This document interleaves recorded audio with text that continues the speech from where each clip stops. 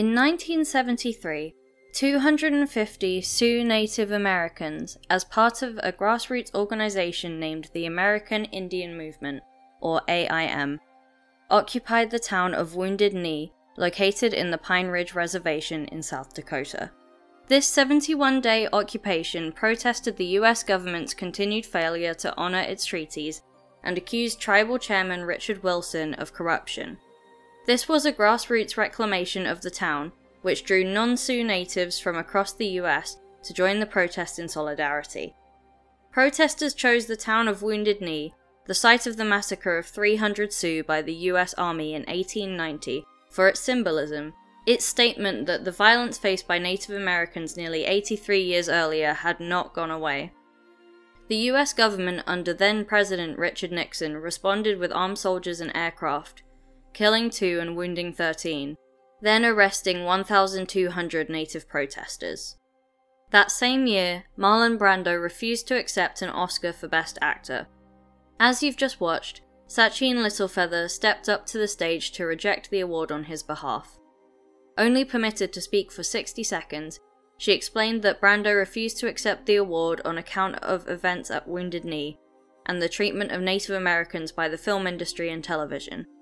In saying this, Littlefeather implied that the treatment of natives by the film industry, implicitly racist depictions of natives in the text themselves, and the exclusion and abuse of natives from the industry, was directly connected to the violence that natives were facing at the hands of the US government at Wounded Knee and beyond.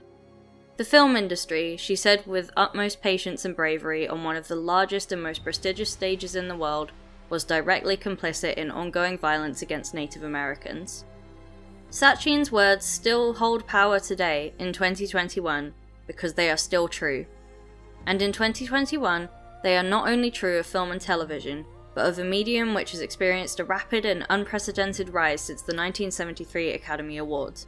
Of course, we're talking about video games. In this video essay, we'll be asking the question implied in Littlefeather's brief appearance at the Oscars, but with regards to the video game industry. How is the video game industry complicit in the systemic racism and violence faced by Native Americans? How is it, in other words, complicit in settler colonialism? Hi, I'm Daz, pronouns they them. And I'm Sarah, pronouns she they. Welcome to Game Assist.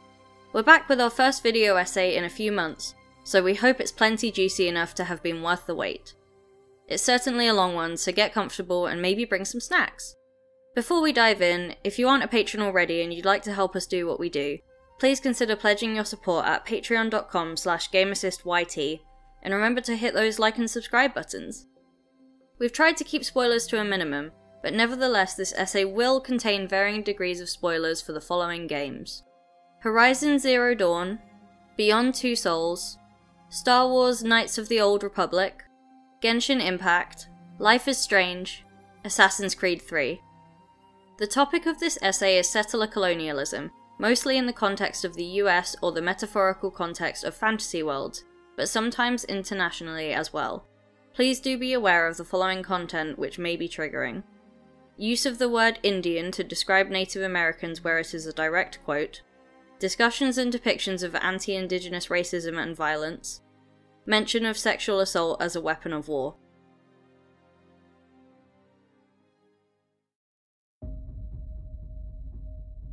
As we usually do with our video essays, we've put together a collection of key concepts and definitions to help you get a basic understanding of the context before we begin our analysis. Central to the particular racism and oppression that Indigenous people face is a system called settler colonialism, so understanding this is absolutely vital to our arguments. To understand settler colonialism, we first need to examine the difference between it and other forms of colonialism, as well as the different roles present in the settler colonial context. We have based the structure of this essay and its title on a 2012 paper by Eve Tuck and K. Wayne Yang titled Decolonization is Not a Metaphor. In this paper, Tuck and Yang lay out what settler colonialism is, how it differs from other forms of colonialism, and how settlers use subtle ways to position themselves away from colonial violence. These are called Settler Moves to Innocence, and we have used various video games to exemplify each of these moves. When you think of colonialism, you are likely thinking of one of two types internal colonialism and external colonialism. Tuck and Yang define internal colonialism as the biopolitical and geopolitical management of people, land, flora, and fauna within the domestic borders of the imperial nation.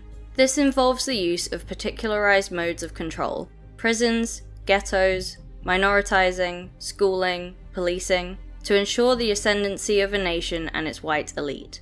This can be used to describe the oppression of people of colour in the US or of the Uyghur people in China, China's history of controlling its 55 minority ethnic groups includes tactics such as enforcing the use of Mandarin as the language of teaching in schools over local native languages, and more recently, the internment of the Uyghur people in so called re education camps.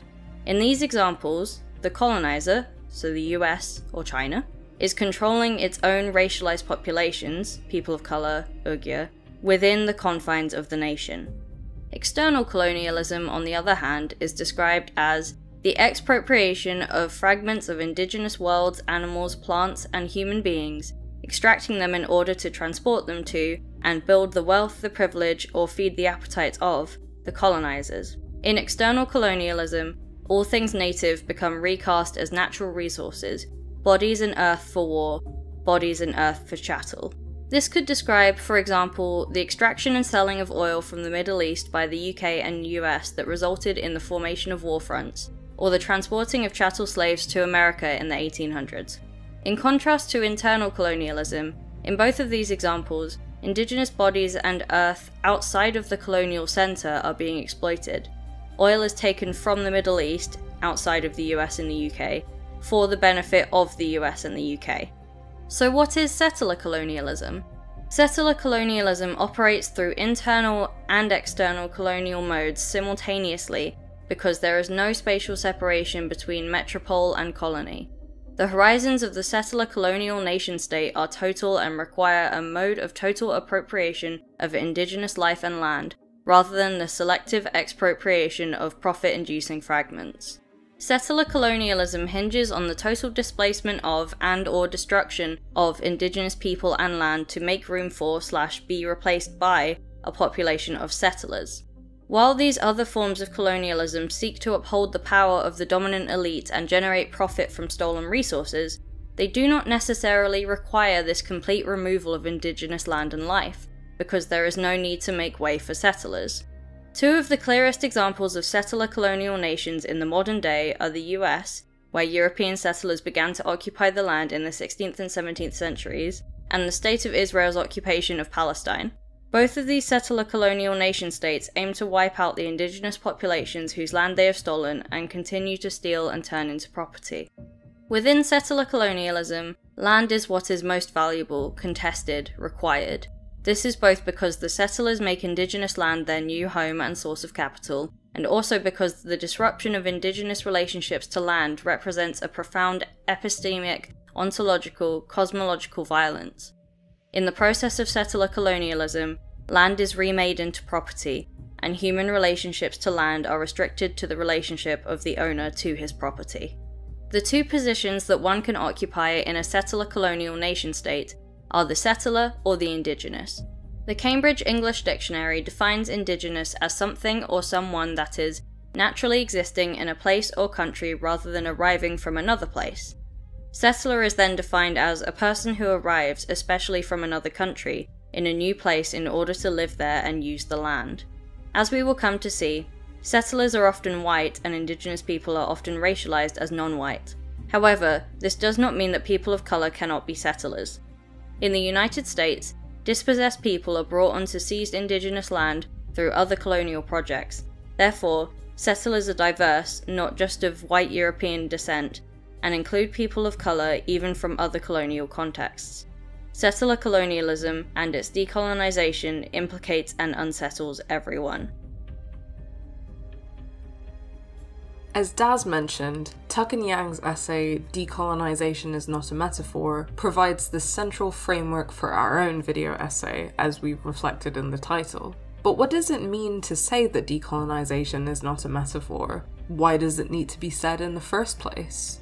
Tuck and Yang open their essay with a discussion that essentially focuses on the education system and on academic research.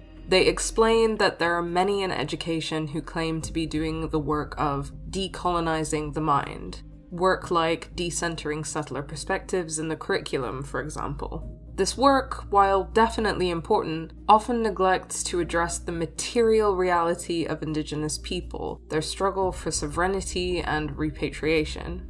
Often, it doesn't even address Indigenous frameworks of knowledge or uplift Indigenous people themselves. Decolonizing discourse in education essentially makes decolonization a metaphor, something to be discussed abstractly in the classroom, rather than something with real material significance that would overhaul the world we live in. Ultimately, this is in the settler's self interest, as this metaphorization of decolonization makes possible a set of evasions, or settler moves to innocence, that problematically attempt to reconcile settler guilt and complicity and rescue settler futurity. By making decolonization a metaphor, settlers reconcile our their own guilt, and we they can also avoid doing the work that would require surrendering our their own power and claim to knowledge. I am inspired by Tuck and Yang's own use of we slash they when I refer to settlers here, in order to show that I am grappling with my own complicated position as a person of colour displaced by colonization, and as a person with their own complicity in settler colonialism, especially as I lived in Canada on stolen land for some of my high school years. Tuck and Yang are interested in the idea of incommensurability, or the idea that some things don't fit together. They're difficult to address and they exist in tension. Settler academics and educators, they say, should not feel comfortable. They shouldn't feel like their interests are reconcilable with Indigenous people's interests. They should always feel uncomfortable and face their own complicity in settler colonialism head on. In Tuck and Yang's words, Actually, we argue, attending to what is irreconcilable within settler colonial relations and what is incommensurable between decolonizing projects and other social justice projects will help to reduce the frustration of attempts at solidarity. But the attention won't get anyone off the hook from the hard, unsettling work of decolonization. They conclude that instead of falling into the trap of focusing solely on the work of decolonizing the mind, thus getting too comfortable and making themselves ourselves innocent, settlers must remember that decolonization brings about the repatriation of indigenous land and life. It is not a metaphor for other things we want to do to improve our societies and schools. Genuine solidarity with Indigenous people under settler colonialism means actively supporting and acting in solidarity with efforts for repatriation. That is, returning land and everything that was stolen from Indigenous people back to where it rightfully belongs, even and especially if this means surrendering settler comfort, power, and property. As alluded to throughout the essay, decolonization is not a metaphor. Settler fear of repatriation has a lot to do with essentially a lack of imagination. Many settlers are simply unable to imagine a relationship with land and life that isn't defined by property or ownership under capitalism, but various indigenous knowledge systems have centered the idea that land and life cannot be owned, in a capitalist sense, by anyone. Tuck and Yang conclude Abolition is twofold, requiring the repatriation of land and the abolition of property, land and bodies. Abolition means self possession, but not object possession. Repatriation, but not reparation.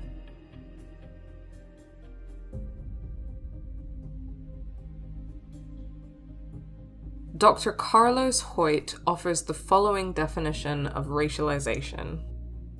The definition I'm going to give, um, and I want to give attribution where, where, where, it belongs, is one that comes from a, a, province of Ontario report on the criminal justice system there back in the 80s, I believe.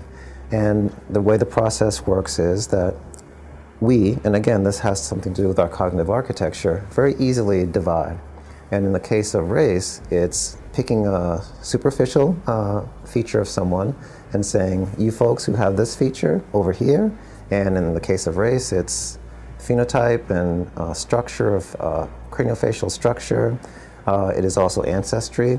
The second step is sorting, so that's separating them, um, not just psychologically but physically, you know, which actually we do uh, in the world. There's segregation, as we know, as we know, based on race. Then we start to attribute, you know, qualities to these groups based on anecdote, based on prejudice, based on what's convenient for us. I've noticed that you people over there with the brown skin, you know, seem not as intelligent as the other people. And then in the original formulation uh, from the folks from the province of Ontario, the last is acting on those things and treating people differentially and discriminating based on those attributes. The missing element of that um, process, it seems to me, regarding race is essentialization. That the differences we attribute to folks we say are permanent. You know, unlike civilizations and societies before roughly the 1500s, 1600s, going into the 1700s, there's no way to change the difference. For example, the Greeks would consider uh, folks who were outside of their culture to be barbarians, you know, folks who couldn't speak the language, uh, who didn't adopt the culture. But if folks decided to adapt those very essential attributes of the culture, they could be Greek, you know. Uh, but with race, the answer was no. You are inherently, irretrievably, permanently different. As this definition implies, biology is inherent to the construction of race. Race is a socially constructed phenomenon, but we are led to believe that it is biologically, permanently, and naturally real. This is intended to make us believe that racial inequality is inevitable because it's in our DNA. If biology is responsible, then people aren't responsible and it can't be changed. This essentialist biological way of thinking about race, which rose with Darwinism and modern science, is essential to our current way of thinking about race. For further reading on this, I'd really recommend Angela Saini's book, Superior The Return of Race Science, which you can order online at our bookshop storefront in order to support independent bookstores and support us at Game Assist. We also talked a bit about medicalization and biological essentialism in our video on women, writing, and madness in Tell Me Why, where I argued that mental illness is a socially constructed category, but one that we are led to believe is genetically, biologically, and pathologically true, so that we don't do anything to address the social, economic, and political factors that cause mental illness or disable people with mental impairments. Do check that video out too if you're interested. But back to race. Ethnicity and nationality are technically different from race, but people commonly think of the three interchangeably. Unhelpfully, some definitions actually do describe them as interchangeable. For example, Cambridge Dictionary Online contributes to the confusion by defining ethnicity as a large group of people who have the same national, racial, or cultural origins, or the state of belonging to such a group.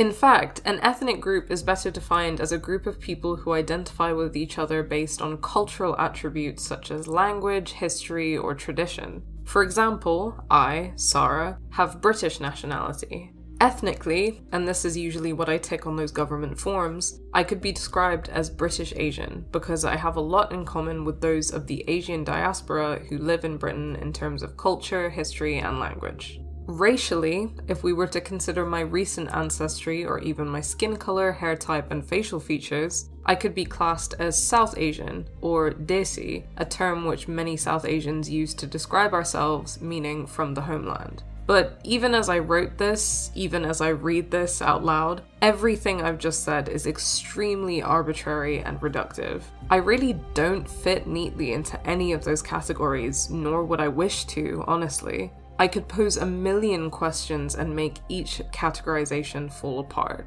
For example, what does it mean that I was born in Saudi Arabia? That I'm Muslim? Or that to reach further into my ancestry, as with all humans, would reveal vast histories of migration from everywhere and anywhere in the world?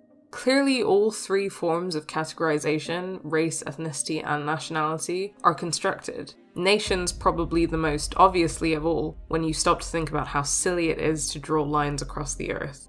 People don't actually fit neatly into categories of any kind, but if white supremacy is to work, then we have to be able to categorize people somehow as white and non white, settler and native, superior and inferior. Hence, racialization, or the process of constructing race and racially categorizing people, is an essential process that allows white supremacy to function. But understanding it more and more can help us dismantle it. As we'll discuss, racialization and race science shape the continued oppression of natives and their depiction in games. In Tuck and Yang's essay, they describe what they call settler moves to innocence. In their words, settler moves to innocence are those strategies or positionings that attempt to relieve the settler of feelings of guilt or responsibility without giving up land or power or privilege, without having to change much at all. In fact, settler scholars may gain professional kudos or a boost in their reputations for being so sensitive or self aware. Yet settler moves to innocence are hollow, they only serve the settler. There are, of course, a dearth of video games which use two dimensional and dehumanizing portrayals of indigenous people, including Native Americans. In our analysis, however, we will be using this framework of settler moves to innocence to take a look at some of the more normalized, seemingly harmless, but actually very insidious messages that video games have to tell us about settler colonialism and indigenous people. This will include discussions of the overwhelming trend to metaphorize indigenous people through the fantasy genre, but we'll also look at some of the very few examples of Native American representation there are in mainstream games. We'll also take a look at the material complicity of the industry in settler colonialism in a couple of global contexts. Importantly, while this essay is analysing mainstream games, trends, and the industry, we're very aware that there are native developers out there working on their own amazing independent projects. We'll list some indie games by Native Americans you can check out in the description of this video, and if you have any recommendations of such games, please, please let us know in the comments or on social media, as we would love to play them and support them.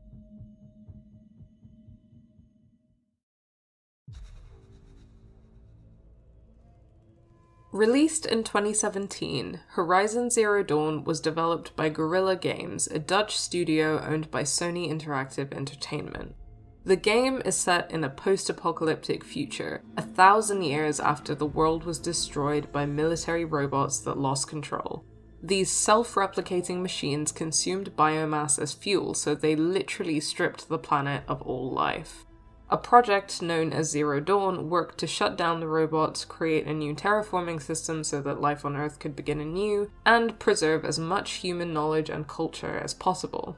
Whose knowledge and culture is uncertain, because all of this knowledge was lost thanks to, uh, let's say, plans going wrong. Horizon Zero Dawn is set in what was the USA before this robot apocalypse, specifically across Colorado, Utah, Arizona, and Montana, with the Frozen Wilds DLC in Wyoming. All of this is important because the history of our world, specifically the history of settler colonialism in the United States, did happen in the world of Horizon Zero Dawn. So humans, ergo human societies, have been born anew, now with living machines as part of the ecosystem. We don't know what the rest of the world looks like post apocalypse, just this part of the USA. The player encounters four tribes, as the game calls them, named the Nora, Banuk, Oseram, and Carja. Our protagonist, Aloy, starts as an outcast of the Nora tribe, becoming a Nora brave, or warrior, after being allowed to participate in a trial known as the Proving. She then ends up on a quest to save the world, which would take far too long to explain and isn't really needed for now.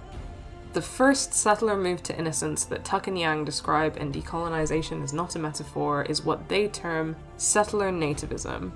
In their words, in this move to innocence, settlers locate or invent a long lost ancestor who is rumored to have had Indian blood, and they use this claim to mark themselves as blameless in the attempted eradications of indigenous peoples. A fictional example of this would be the character Daryl Whitefeather from the Netflix series Crazy Ex Girlfriend. So, Daryl Whitefeather, hmm. that's a really interesting name. Well, I'm what they call a full one eighth. One eighth Chippewa. Oh. Those are my people. A real life example would be US Senator Elizabeth Warren.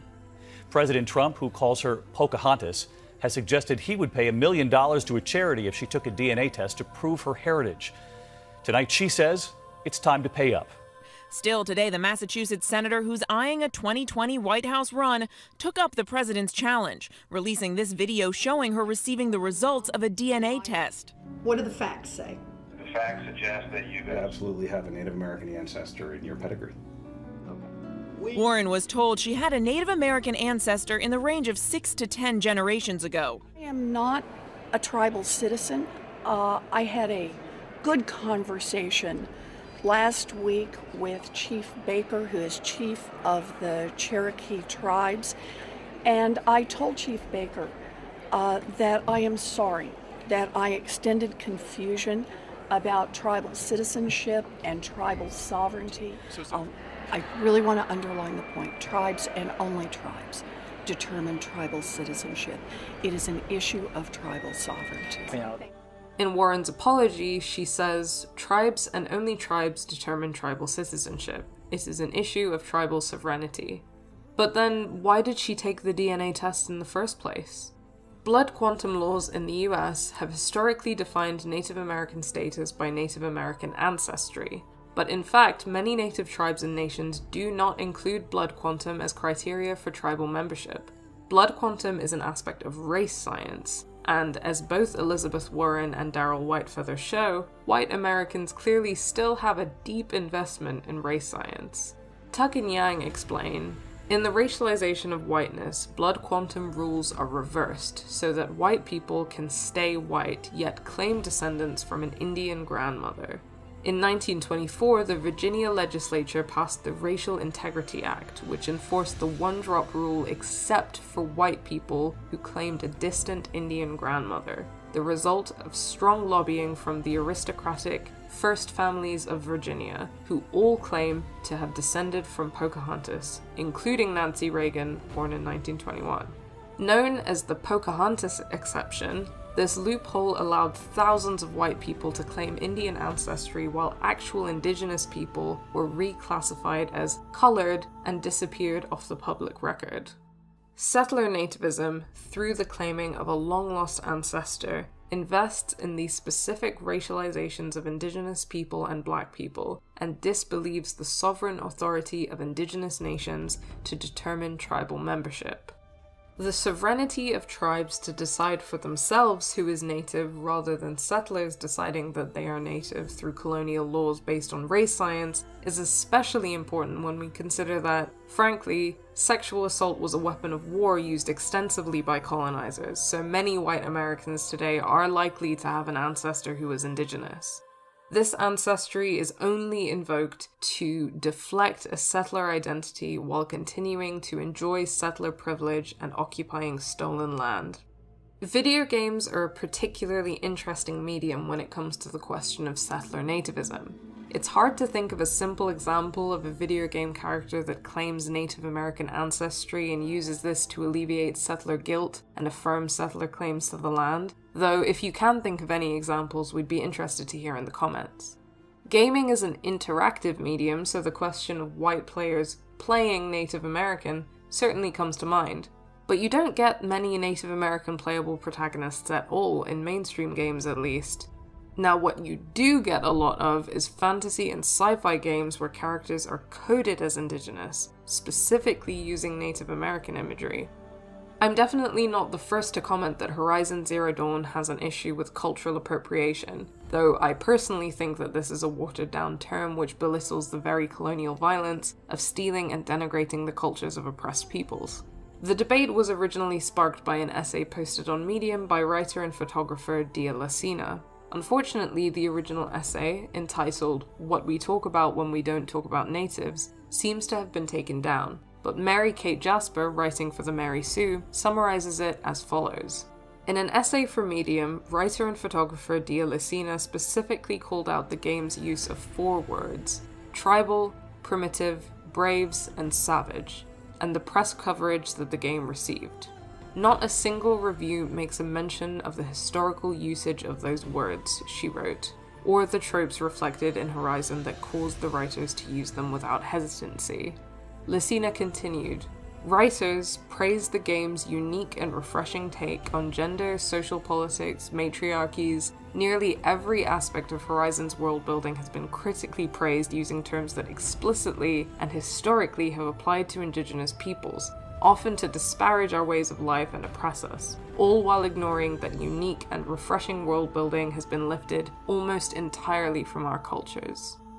In response to this criticism, Horizon Zero Dawn narrative designer John Gonzalez said, The vocabulary was certainly discussed during the creative process in terms of wanting to make sure we were sensitive to the cultural concerns of our audience.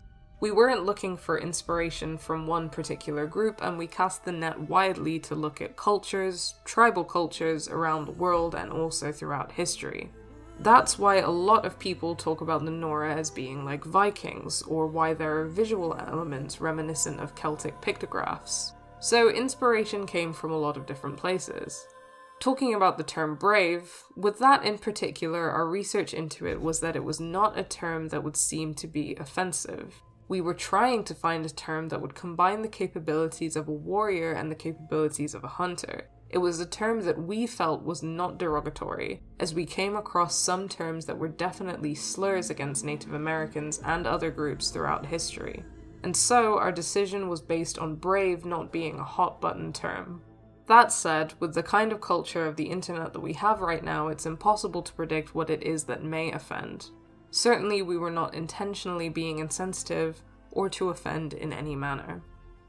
So, there's a few things to unpack here, but essentially the response has completely missed the point of Lucina's criticism and has revealed extremely suspect practices by the studio. First, the claim that inspiration came from a lot of different places, specifically citing the Vikings, is an extraordinary deflection. The Vikings were not, and importantly, are not an oppressed people under settler colonialism. So the equivocation of so called tribal influences as all being fair game shows an astonishing lack of understanding of historical and present day systems of oppression.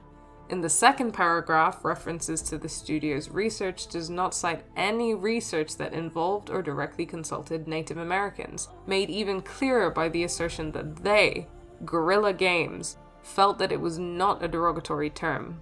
In other words, their cultural research practice was not to directly consult Native communities, but to make their own decisions and judgments with no consideration for their own privileged positionality. Finally, the real mask off moment comes, of course, with the dismissal of valid concerns from natives about how they are portrayed or metaphorized in the media, something which directly contributes to the violence towards natives, as nothing but an expression of an imagined, overly sensitive snowflake internet culture. Guerrilla Games clearly don't see Native Americans as real people, and the game reflects this.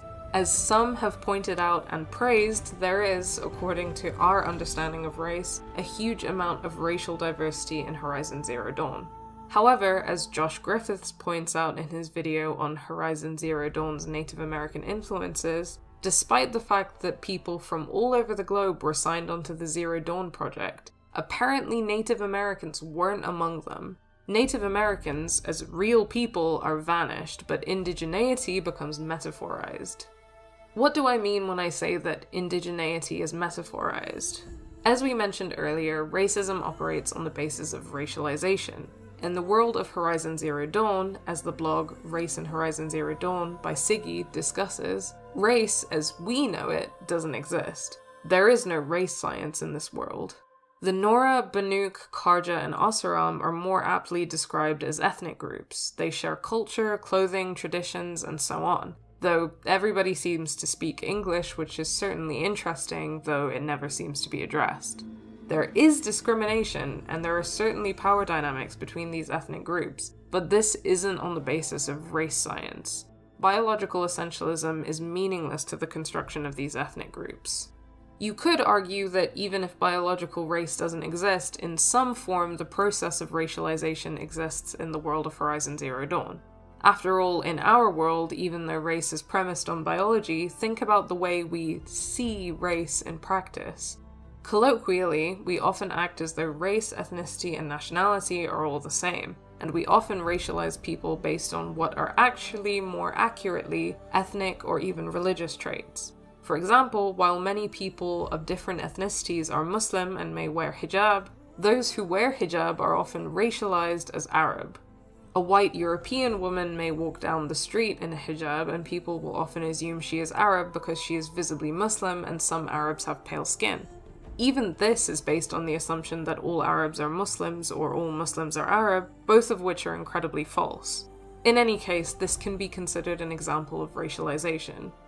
In the world of Horizon Zero Dawn, then, one might say that people racialize one another on the basis of ethnic traits. Clothing is a strong one, as there are distinct colours and styles which the four tribes wear, though this doesn't hold water when it comes to our protagonist, apparently. For some reason, no matter what outfit you wear in the game, people just see her and know that she's Nora. This would imply that racialization based on biological essentialism is a thing, but there is no other evidence for it in the game. If racialization is designed to categorize people in order to oppress them, the Carja have certainly used this sort of racialization based on ethnic traits to commit violence against other tribes. They are the closest thing to an oppressing, even colonial power in this world, or at the very least, a previously colonial power which is apparently trying to make amends, though their bigoted attitudes hold still for many individuals you encounter in the game. As Siggy puts it, the Carja are strongly coded as a colonial power. They're the ones with the technology, the cities, and the power to subjugate neighbors. If the Carja had the power, they would certainly want to convert the Nora to their enlightened, sun worshipping religion. Indeed, the Carja seem to have waged war on all three other tribes in an attempt to conquer them, and their sun obsessed narrative has a lot in common with the enlightening narratives of European colonizers.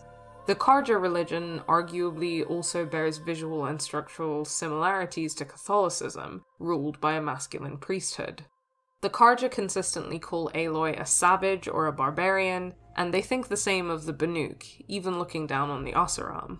The relationship between the Carja and the Oseram is particularly interesting, actually. While the Carja see the Nora and the Banuk as savages because they are clearly native coded peoples, the Oseram are visually and culturally coded more as medieval Europeans, or a romanticized fantasy world version of them anyway. The Carja, however, live in a desert city and are strongly coded as a mishmash of Arab and East Asian, with a liberal dose of Catholicism on top. If they are a colonial power, their visual coding and rhetorical coding, particularly with its focus on the sun, probably invoke Japanese or even Islamic imperialism, arguably more than European imperialism. After all, they look down on the European coded Oseram, who also look down on the Nora and the Banuk. It's it's honestly a mess. So you, the player, are Aloy, a Nora, and in this world, the Nora are native coded. They experience a fantasy world version of anti indigenous racism, which is recalled through the use of terms like savage and barbarian, as well as the Carja's recent historical attempts to civilize and massacre the Nora. But of course, as I've been implying with my discussion of coding, fantasy worlds don't exist in a vacuum. They're created in the context of our world and the long history of images and meanings that our world contains. So it means something that Aloy is white, while skin color isn't an aspect of racialization in Horizon Zero Dawn, it is in our world.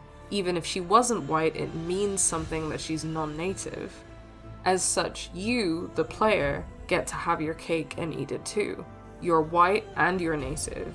You can claim to understand anti indigenous racism. You can perform sympathy while alleviating settler guilt the experience of Native Americans under settler colonialism is reduced to a cool world building device in a fantasy game, erasing and trivializing the real and continued oppression that natives face.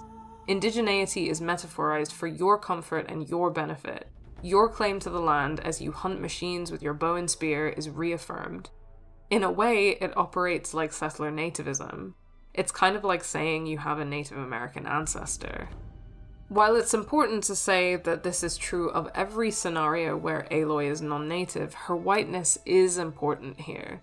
This is because, as both Siggy in their aforementioned blog and Holly Green for Paste point out, it allows her, and the player, to occupy a position of white saviorism. This has been observed in relation to the Frozen Wilds DLC, where Aloy is the answer to the Banuk's problems, the hero they've been waiting for because they're too backwards to save themselves. I certainly agree with this argument, but I'd actually argue it's true of the whole game. The entire game pushes the idea that Aloy is not like other Nora. What? A Nora? Wearing one of these? That's impossible. Your tribe fears the old places, forbids them. Who says I'm like other Nora? If the Banuk foolishly worship the blue light and see AI as spirits, the Nora foolishly shun the ruins of the old world, thinking everything to do with technology is evil. It is Aloy, her name literally taken from alloy, meaning a mixture of metals with one or more elements, who knows better than all of them. You are different from the Banuk. Even her own dialogue often betrays contempt for the Nora, seeing their beliefs and way of life as foolish. Sure, she has some justification, what with the whole, like, outcast thing, but still kinda sucks. Some part of her, in some way, does think she's better than them, even when she denies it. While her people bickered, she was the one who took responsibility. The only one who could. She was better than them. That's not what I said. None of this is to say that the Nora or Banuk are perfect, but the attitudes that the game, Aloy as a character, and those in the world around her have of them is that they are a backwards people. Aloy finds more in common with more enlightened folk, like the Oseram Erend or the Sun King Avad. And even though neither of these tribes are depicted as perfect either, they are depicted as clearly superior. And Aloy, a Nora who is not Nora, just as the player is native but not native, is the most superior of all. She is the mythical American, as Tuck and Yang would say.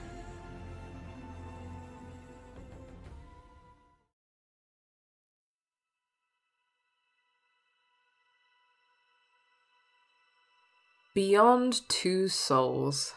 Where do we even begin with Beyond Two Souls? Of all the video games that could possibly have Elliot Page in it, this is the game? Okay, okay. Thankfully, this video has to be focused or I'd be here all day.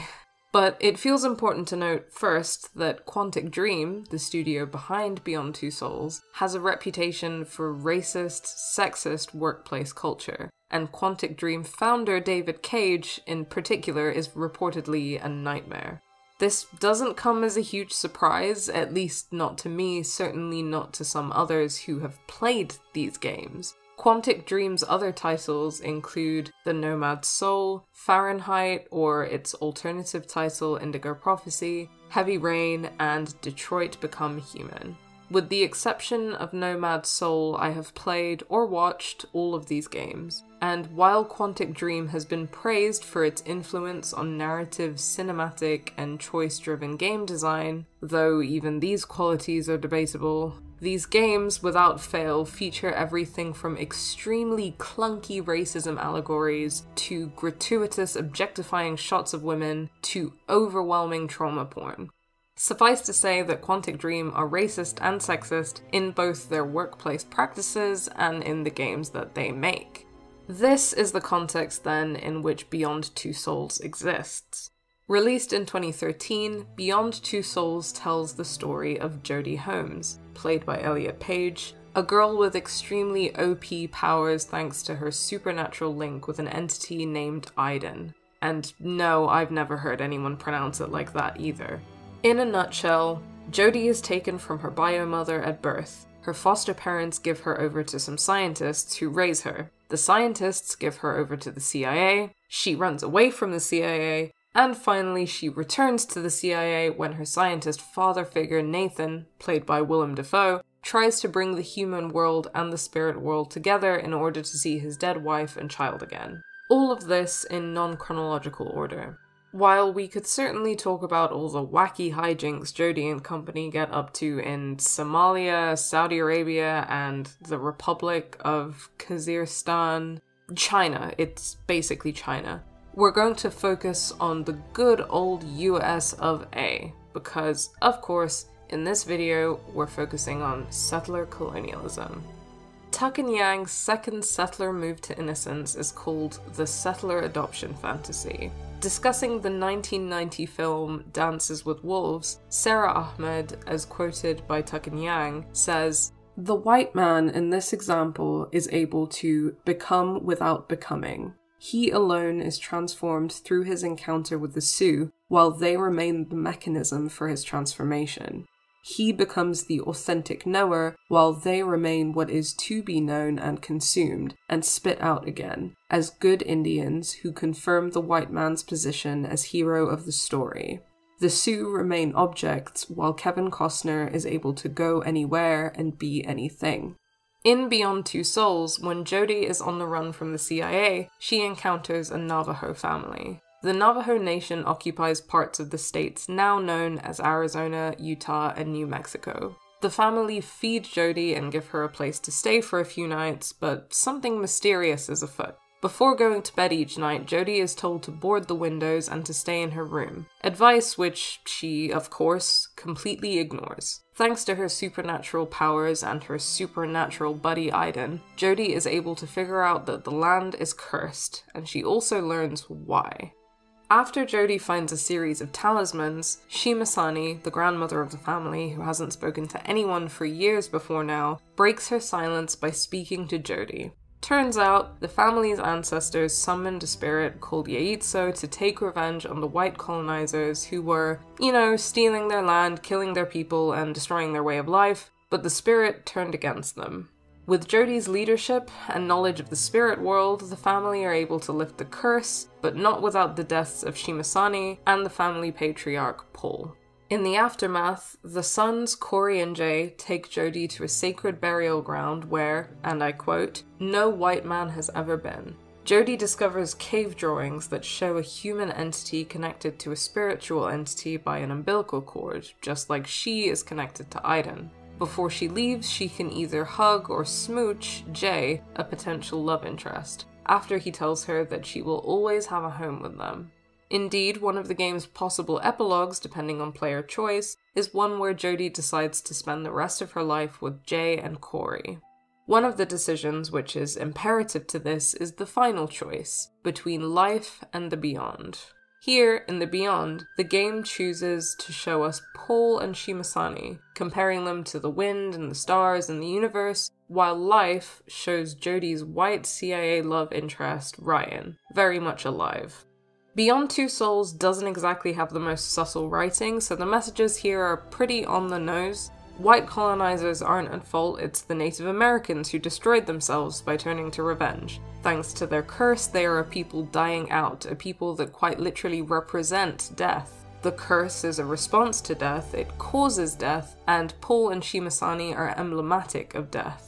Jodie, the family's white savior, is able to break the curse because for some reason Shimasani has decided not to talk to her own family for many, many years, but is happy to tell her secrets to some random white woman. Jodie is adopted into the family through the course of the episode, where you act like a member of the group, working on the farm, eating food together, and sleeping in their home. And of course, the game can end with her long term adoption into the family if she chooses to spend her life with Jay. In Decolonization is Not a Metaphor, Tuck and Yang say that they're not interested in the legitimacy of white people's adoption into native tribes as much as the primacy of this trope in culture. On rare occasions, some adoptions like this have indeed occurred, from John Smith in 1607, as popularized by the Disney film Pocahontas, to more recently Johnny Depp, but they really haven't been as common as you might think based on popular culture. Why the fixation on this trope?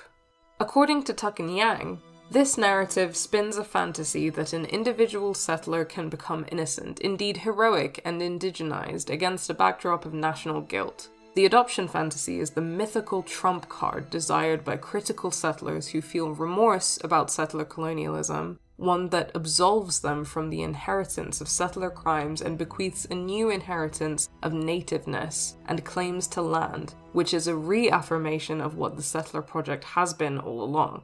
Settler fantasies of adoption alleviate the anxiety of settler unbelonging. He adopts the love of land and therefore thinks he belongs to the land. His cultural hybridity is what makes him more fit to survive. the ultimate social Darwinism. Better than both British and Indian, he is the mythical American.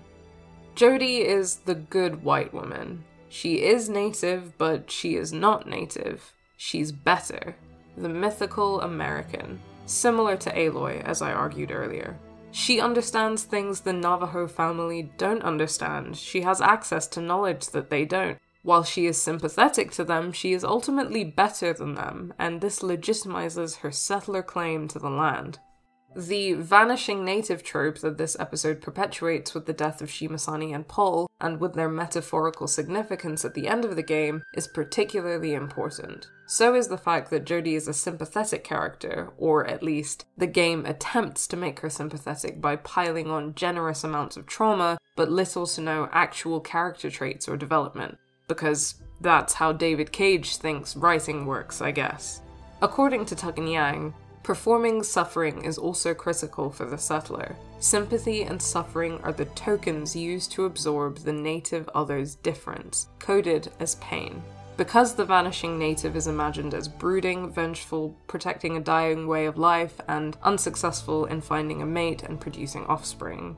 And Jodie is, of course, the player controlled protagonist. The evidently white target audience has their innocence, superiority, and claim to the land affirmed by performing Jodie's suffering and performing sympathy with Native Americans. If the player doesn't choose Jay as a romantic interest, the end of the family line seems assured, as he and his brother are the only Navajo left. An interesting narrative choice, considering that in reality, according to the Navajo Times, as of 2021, the Navajo Nation has 399,494 members, the largest federally recognized tribe in the US. If the player does choose Jay as a romantic interest, there is, of course, the possibility that he and Jodie would have children. But remember when we talked about blood quantum earlier?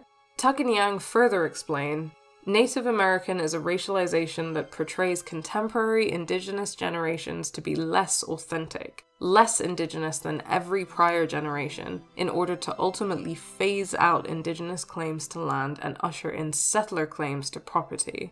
This is primarily done through blood quantum registries and policies which were forced on indigenous nations and communities, and in some cases have overshadowed former ways of determining tribal membership. This entire narrative in Beyond Two Souls places questionable emphasis on the nuclear family and heterosexual reproduction. So it isn't much of a leap to say that the framing of the game would frame Jodie and Jay's child as less native, more settler. The conclusion of the sequence and of the game is, as Tuck and Yang put it, now we are all Indian, and decolonization is no longer an issue. Our only recourse is to move forward, however regretfully, with our settler future.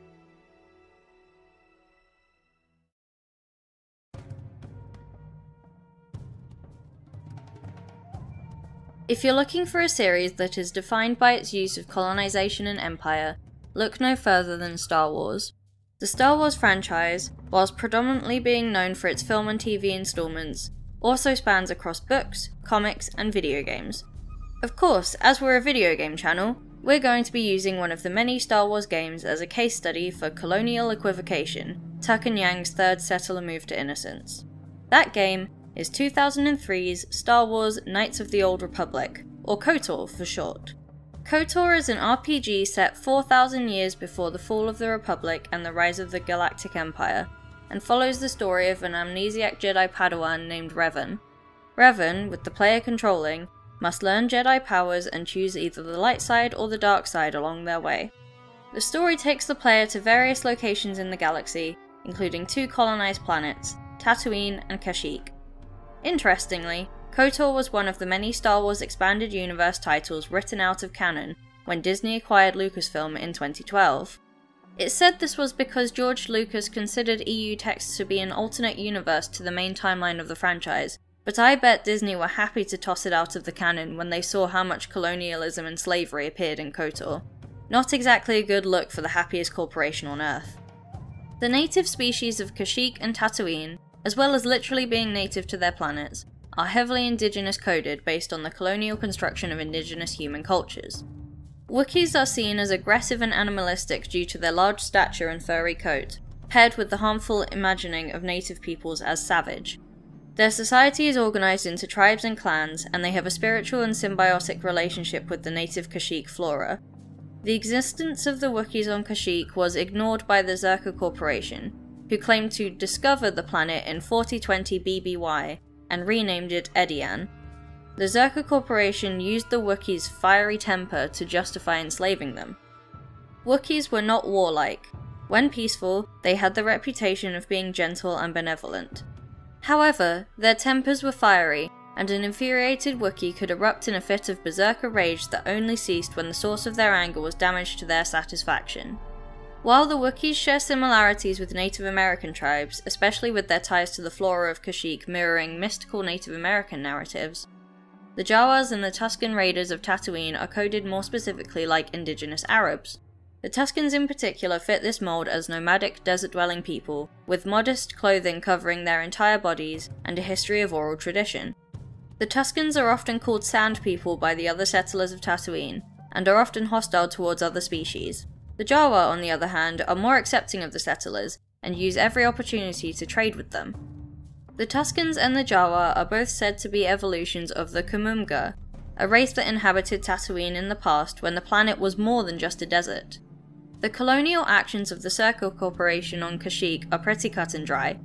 However, the settler-colonial relationship on Tatooine between Czerka, the Tusken Raiders, the Jawas, the other settlers, and the Republic is a little more complex. That is a relationship of colonial equivocation. Tuck and Yang define colonial equivocation as the homogenizing of various experiences of oppression as colonization. While a lot of different forms of oppression are connected in some way to colonialism, and it's important to understand that, directly describing different experiences of oppression as colonization simply isn't entirely true or accurate, it's reductive. For example, a white queer person could reasonably say that queerphobia is connected to colonization, but they could not reasonably say that as a white queer person, they are colonized. Even non natives, while experiencing various forms of displacement and violence from colonization, need to be more thoughtful about whether and in what context they describe themselves as colonized, because as we discussed in our key concepts, not all forms of colonization or racism are the same. If you aren't discussing anti indigenous racism, if you aren't discussing settler colonialism, if you aren't talking about indigenous sovereignty and repatriation, you simply aren't talking about decolonizing, at least not in its fullest sense. In particular, describing all struggles against imperialism as decolonizing creates a convenient ambiguity between decolonization and social justice work, especially among people of colour, queer people, and other groups minoritized by the settler nation state. Although the allegory does not map perfectly given the intergalactic setting of KOTOR, the relationships between the various races found on Tatooine can be described in a similar way. Star Wars has shown us repeatedly that the coexistence of different species of sentient life does not mean that all species were created equal. The Taris city world level at the beginning of KOTOR in particular highlights aspects of humanocentrism and the presence of anti-alien feelings. Tatooine appears in many Star Wars products and is frankly always under oppression from one force or another, be that the Empire, the Republic, or the Czerka Corporation. Tatooine is home to dozens of species, many of whom are there to work for Czerka. The only native species to Tatooine are the Jawa and the Tusken Raiders. Tuck and Yang say, We are all colonized may be a true statement, but is deceptively embracive and vague. Its inference, none of us are settlers. The people of Tatooine, in particular the non human inhabitants, can certainly claim that they are colonized or oppressed, given the evident humanocentrism of the galaxy at this point, but that does not absolve them of enacting settler colonial violence and essentially taking on the role of the brown settler. The Czerka Corporation's control of Tatooine is comparable to the coal mining towns of West Virginia and Kentucky in the late 1800s and early 1900s. Czerka, like real life mining corporations, owned the towns, and the inhabitants relied on them not only for employment, but for infrastructure, goods, and services. This form of worker suppression led to the formation of labour unions in the US. Despite these claims of solidarity, the people of Tatooine show annoyance at and even hatred of the native Tusken Raiders and Jawa across the Star Wars franchise. In KOTOR, Revan is paid by the administrator of Anchorhead to slaughter a group of Tuskens who have been intercepting shipments. Luckily, the player is able to come to a non-violent solution, but the anti-indigenous sentiment of the settlers of Tatooine is made clear. The inhabitants of Tatooine buy into the settler colonial narrative that their real enemies are the indigenous people, unable to understand that their violent actions are acts of rebellion against the colonizers.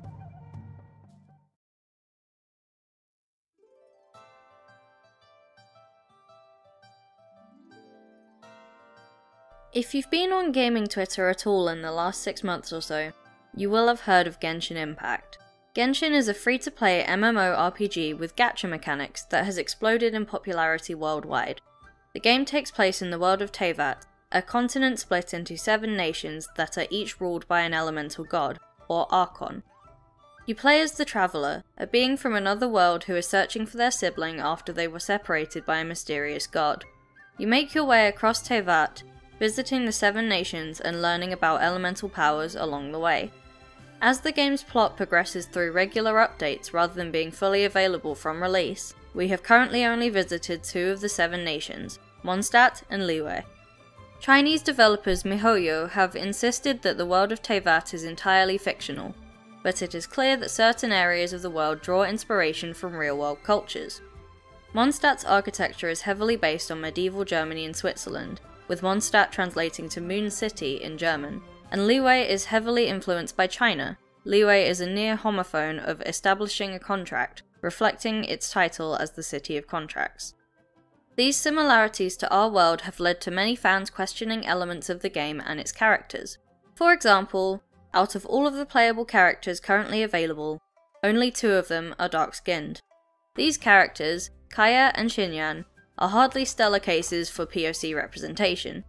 As I'll go into a bit later, light skinned Asian people are not constructed as racial others in China like they are in the UK and the US. This means that Xinyan and Kaeya are specifically racialized as other to the Chinese norm in this context. Kaeya is described as dressing exotically and is suggested to be a spy from another nation. Xinyan is described as scary, and as of the 1.6 update, she is the only playable character that the Traveller has not interacted with in a story mission. Players of colour picked up on this and began to tweet criticism of the mistreatment of dark skinned characters in the game. This also led players to interrogate the depictions of the main antagonists of the game, the Hilichurls. Like most open world RPGs, Genshin Impact uses generic overworld enemies in daily quests and artifact domains as tools for the player to develop their skills and gather resources. These enemies are the Hilichurls, and they are heavily coded and racialized as indigenous people. They are described as primitive and tribal, they wear loincloths and painted masks, they have dark skin, and they are frequently seen dancing around campfires. It is suggested that they have been in Teyvat since long before the Archons established the existing national borders.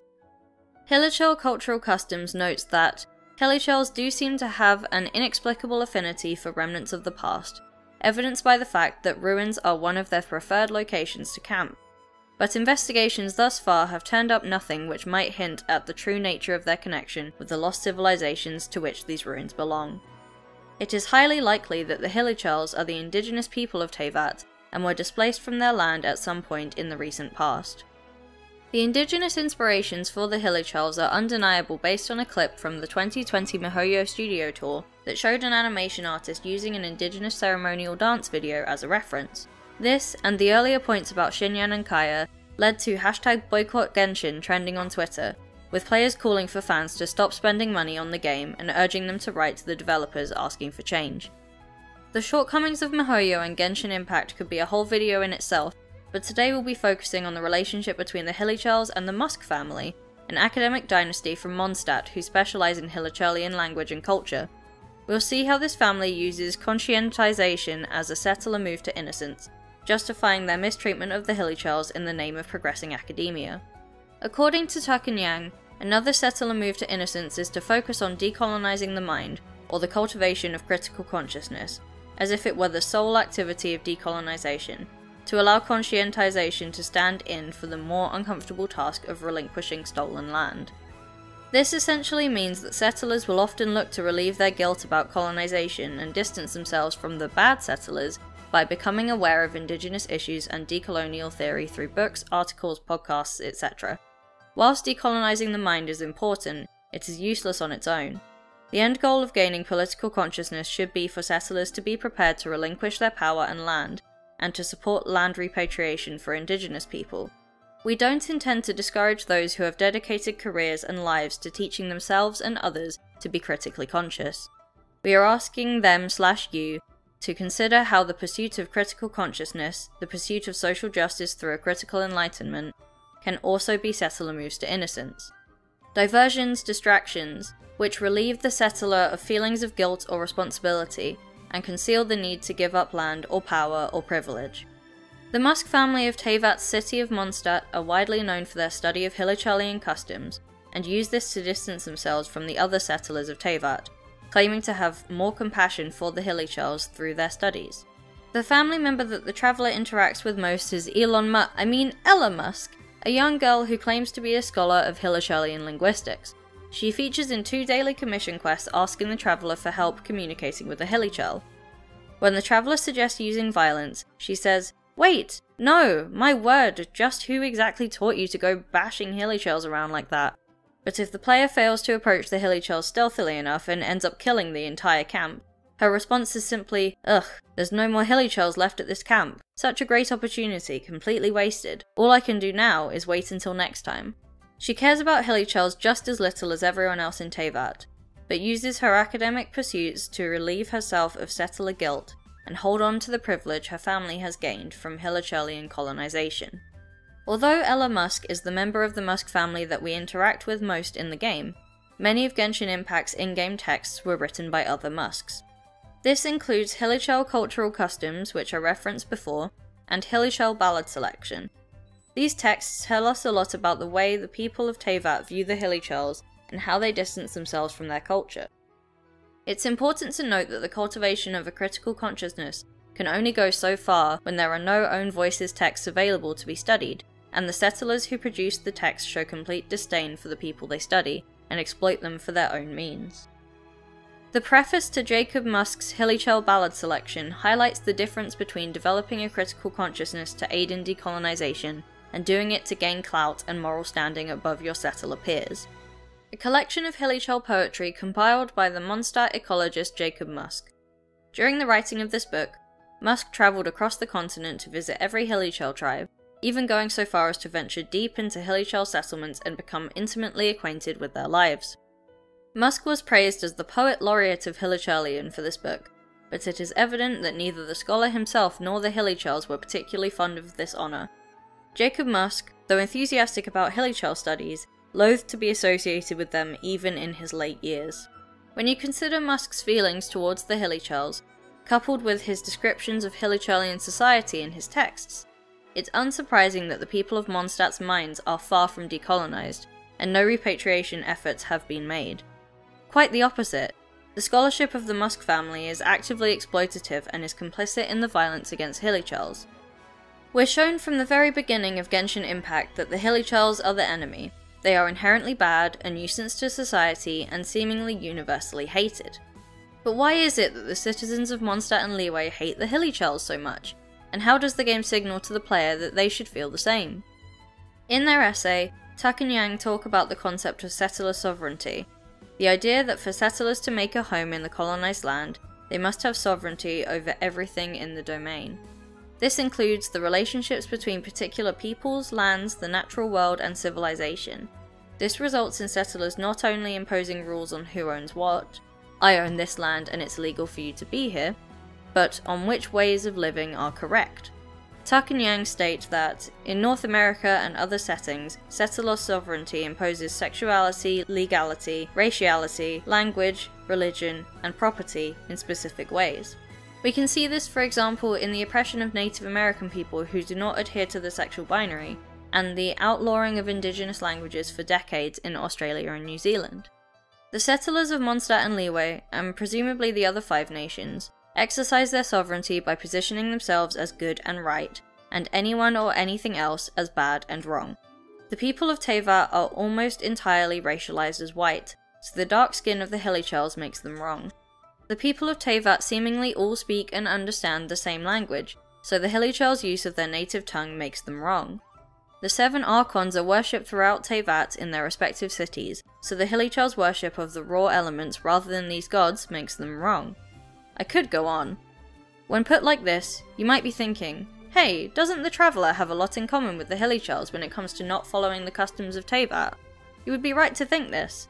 The Traveller is able to use elemental power without the gift of a vision, much like the Hilichurls.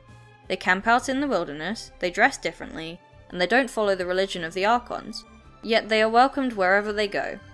This is most likely because both Aether and Lumine are racialized as white, just like the populations of Mondstadt and Liyue. This makes it easier for them to assimilate into the white settler culture across the continent and gain privilege that the Hilichurls could never have. It is here that we must remember that MiHoYo is a Chinese company, and therefore the company and its employees are likely to understand racialization in a different way to those in the West. According to Keitaro Okura's 2021 paper titled There Are No Asians in China The Racialization of Chinese International Students in the United States, race is commonly understood in China as 1. The paradigm of nationality and blood origin that positions the Chinese against all other foreigners, and 2. The paradigm of ethnicity which contrasts the dominant Han Chinese with the 55 Chinese ethnic minorities. That is to say, Chinese people are not viewed as ethnic minorities or POC in China, like they are in the US and UK. Whilst Genshin Impact is one of the more recent games to invoke settler colonial power fantasies with their enemies, it isn't the only culprit. Games from all sorts of genres fall back on the systematic killing of indigenous people as a game mechanic. It's particularly prevalent in open world RPGs, which is often excused or glossed over due to their high fantasy setting and the need for disposable enemies for grinding purposes just like indigenous people in real life are constructed as disposable enemies under settler colonialism. In a fantastic article called Genshin's Hilichurl and Gaming's Colonialist Impulse, Chiro Plus goes into just how normalized these settler colonial behaviors have become in our games. They discuss the effect of lingering colonial stereotypes on game design, saying, The Hilichurl's design inevitably draws upon a shared vocabulary of what we consider other enough to justify attacking, when incorporating human characteristics, however, designers may inadvertently rely upon racist motifs normalized throughout centuries of chauvinism to inspire the player's antagonism. Complaints about this sort of enemy are brushed aside because games have been like this for years. In another thread, someone points out that the Hilichurls have language, poetry, and architecture. They joke, how do I side with the Hilichurls and overthrow the colonialist Knights of Favonius, instead of doing a genocide whenever I go looking for puzzles?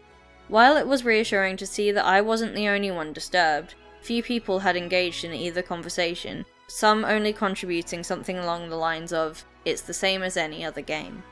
Even with a $100 million budget, MiHoYo chose to stick with the tried and true method of indigenous coding their enemies.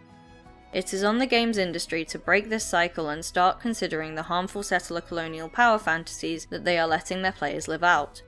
If you can come up with an expansive fantasy world and a 10 year plot roadmap for your game, you can make enemy characters without relying on anti indigenous stereotypes. In this context, the Musks of Mondstadt are directly comparable to Western anthropologists in the real world.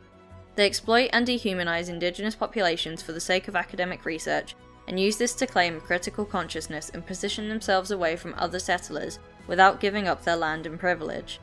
The work they produce perpetuates the settler colonial narratives that indigenous populations are savage, unintelligent, and primitive, giving settlers even more reasons to oppress and steal from native communities.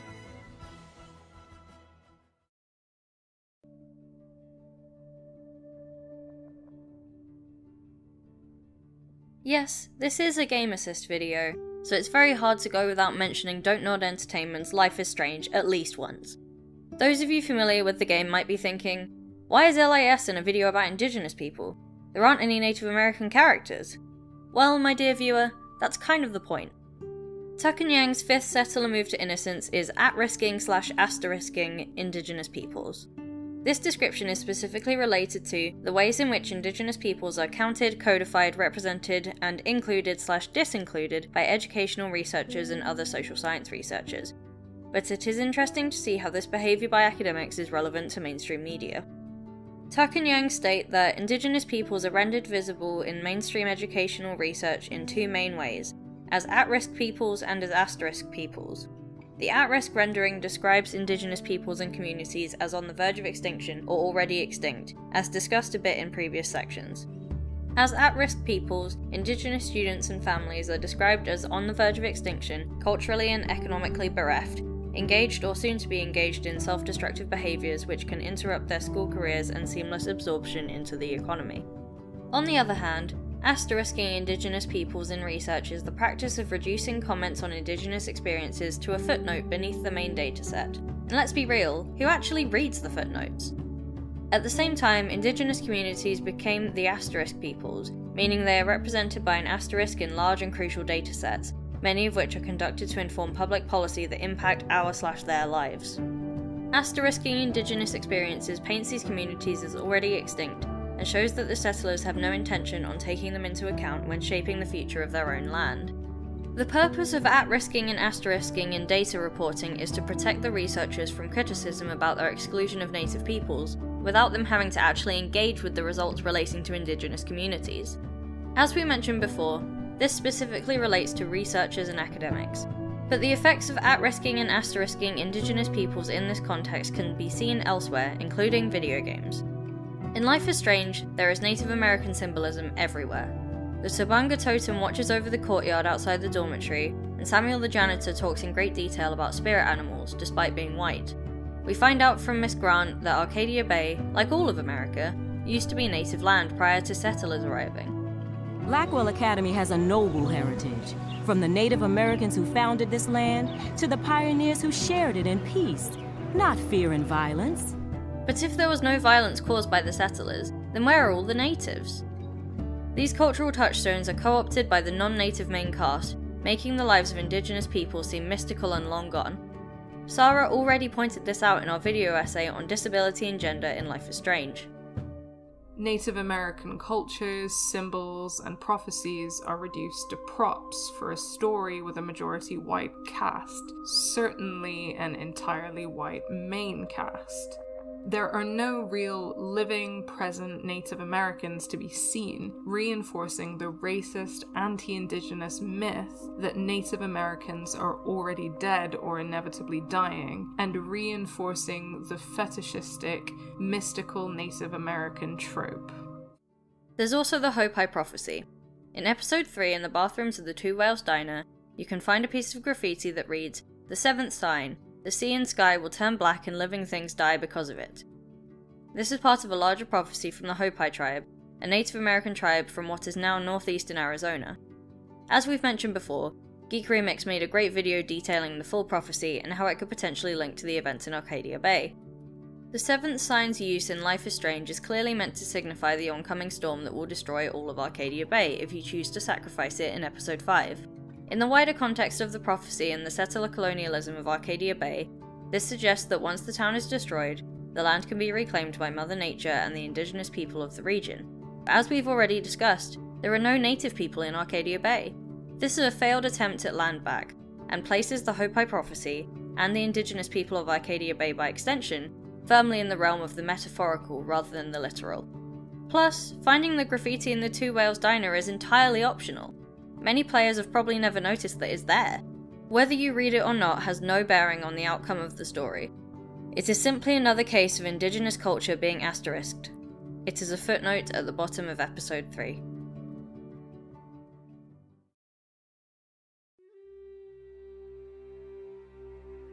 In 2019, Ubisoft released a remastered edition of Assassin's Creed 3, originally released in 2012.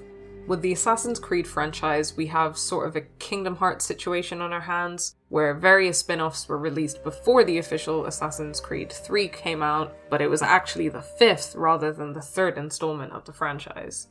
Anyway, Assassin's Creed is easily one of the biggest AAA or blockbuster game franchises in the world, to the point that it has a terrible film starring Magneto, I mean, Michael Fassbender, in its name. So, in the lead up to the release of Assassin's Creed 3 in 2012, there was, of course, a lot of anticipation around the game, particularly because it would feature a Native American protagonist. As we've mentioned, this really, really isn't common for mainstream games.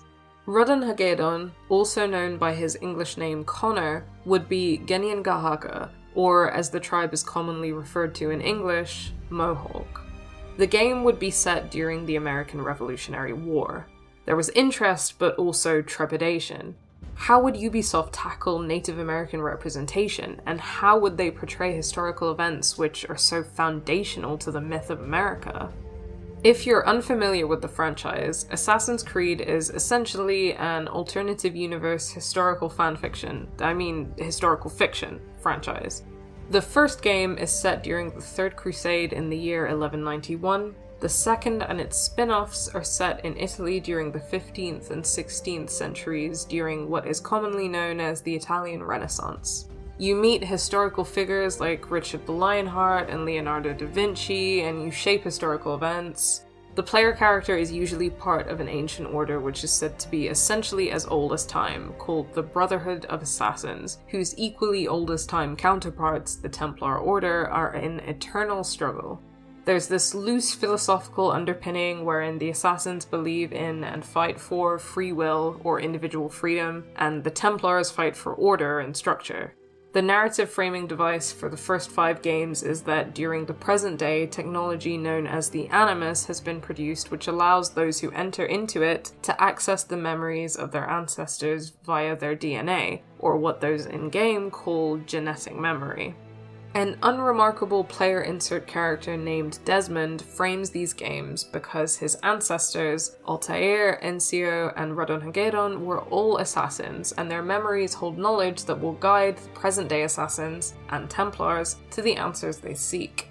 But in this video, we're not interested in Desmond. We're interested in the story of his Native American ancestor, Radon as well as the game's depiction of the American Revolutionary War. It's worth saying that based on reviews and such online, it does seem like a lot of Native Americans were critically appreciative of the game and of Radon as a protagonist specifically.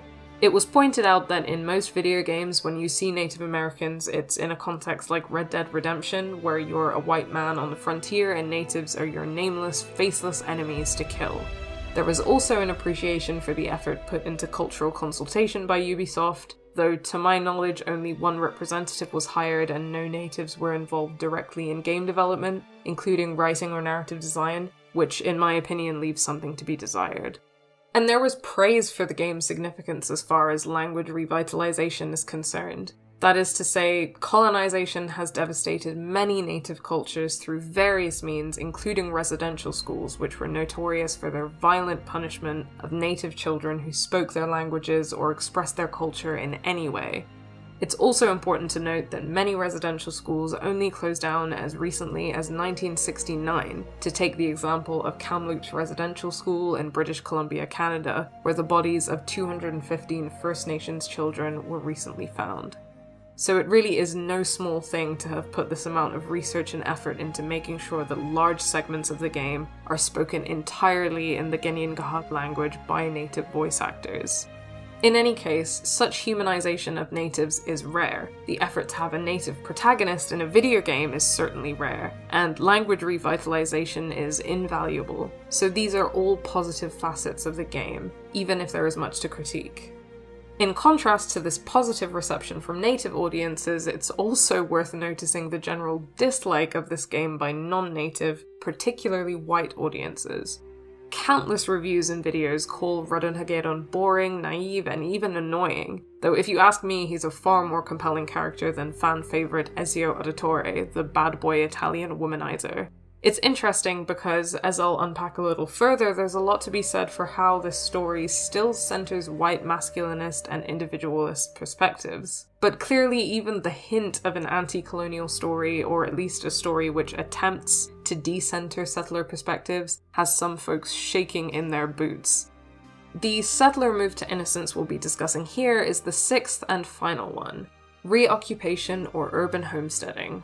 This essentially refers to how supposedly progressive movements spearheaded by settlers actually serve as a form of reoccupation, which ultimately serves only settler interests and continues to erase and exploit natives.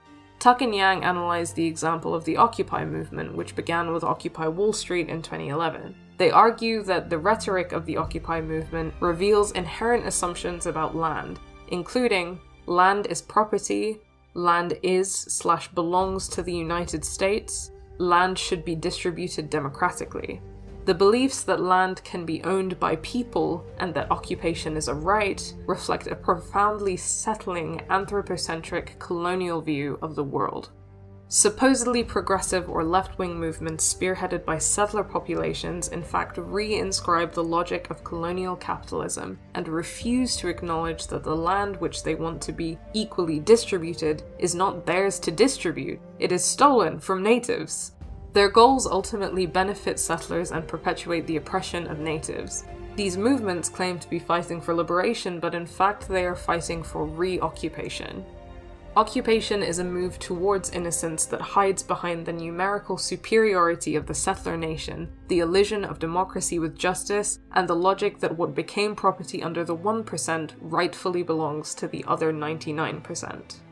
By contrast, decolonization eliminates settler property rights and settler sovereignty. It requires the abolition of land as property and upholds the sovereignty of native land and people.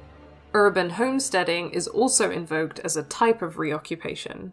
Urban homesteading refers to a host of practices from squatting to urban agriculture and beyond. As an example, Tuck and Yang discuss how Occupy protesters use tents to squat on land in order to reoccupy it. The communities formed in these tent cities often replicated European laws and continued to erase and exclude natives. Occupy protesters were often uncomfortable when natives spoke out about the logic of reoccupation that underpinned their campaigns. In Tuck and Yang's words, urban homesteading can also become a form of playing Indian, invoking indigeneity as tradition and claiming Indian like spirituality while evading indigenous sovereignty and the modern presence of actual urban native peoples. More significant examples are occupiers' claims to land and their imposition of Western forms of governance within their tent cities slash colonies. Claiming land for the commons and asserting consensus as the rule of the commons erases existing, prior, and future native land rights, decolonial leadership, and forms of self government.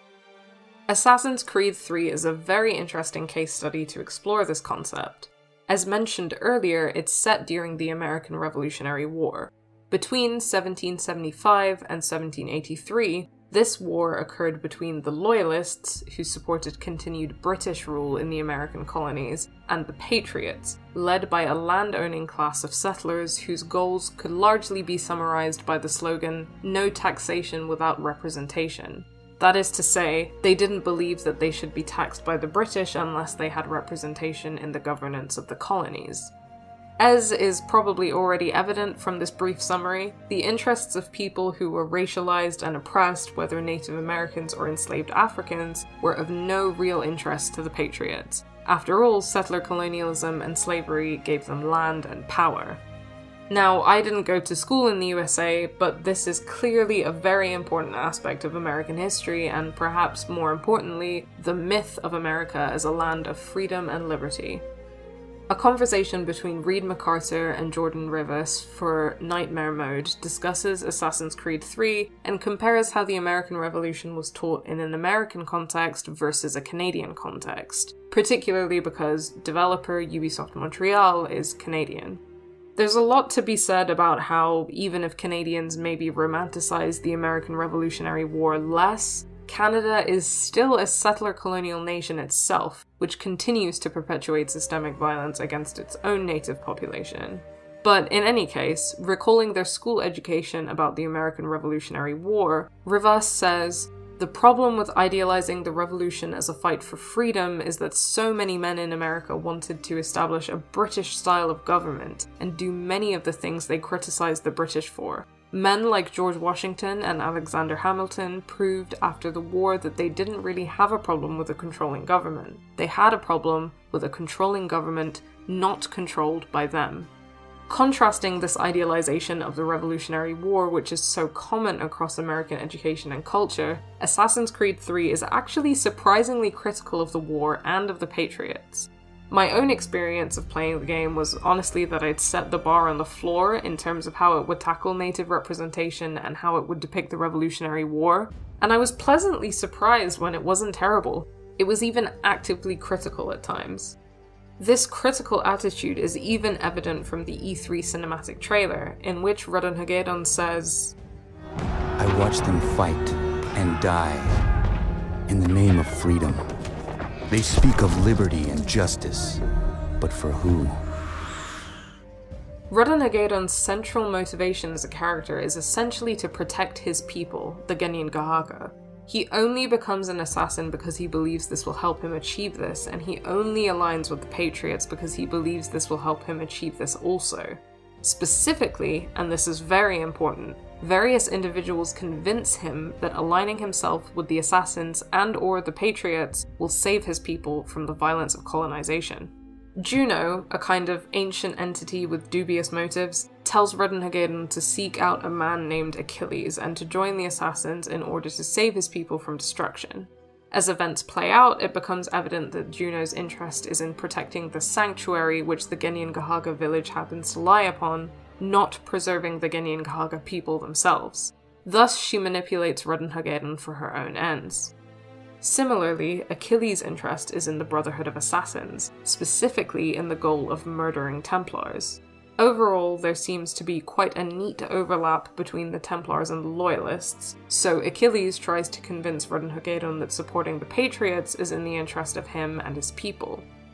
Then, of course, the Patriots themselves try to convince Ratonhnhaké:ton that aligning with them will aid the Kanien'kehá:ka. Here, for example, Samuel Adams tells Ratonhnhaké:ton that if he assists with the Boston Tea Party, a historical event wherein the Patriots destroyed a shipment of tea from the East India Company, this will damage the finances of William Johnson, who wishes to buy the land on which Ratonhnhaké:ton's village stands and is willing to murder the Kanien'kehá:ka to get it. Cheer up, Connor. For tonight, we are all victors. The Sons of Liberty get to send a message to England, and you rob William Johnson of his financing. Your village will be saved. Ultimately, of course, William Johnson finds other ways to finance this land acquisition, and Sam Adams and the Patriots probably knew that. Ultimately, they manipulated Ratonhnhaké:ton's labor for their own ends.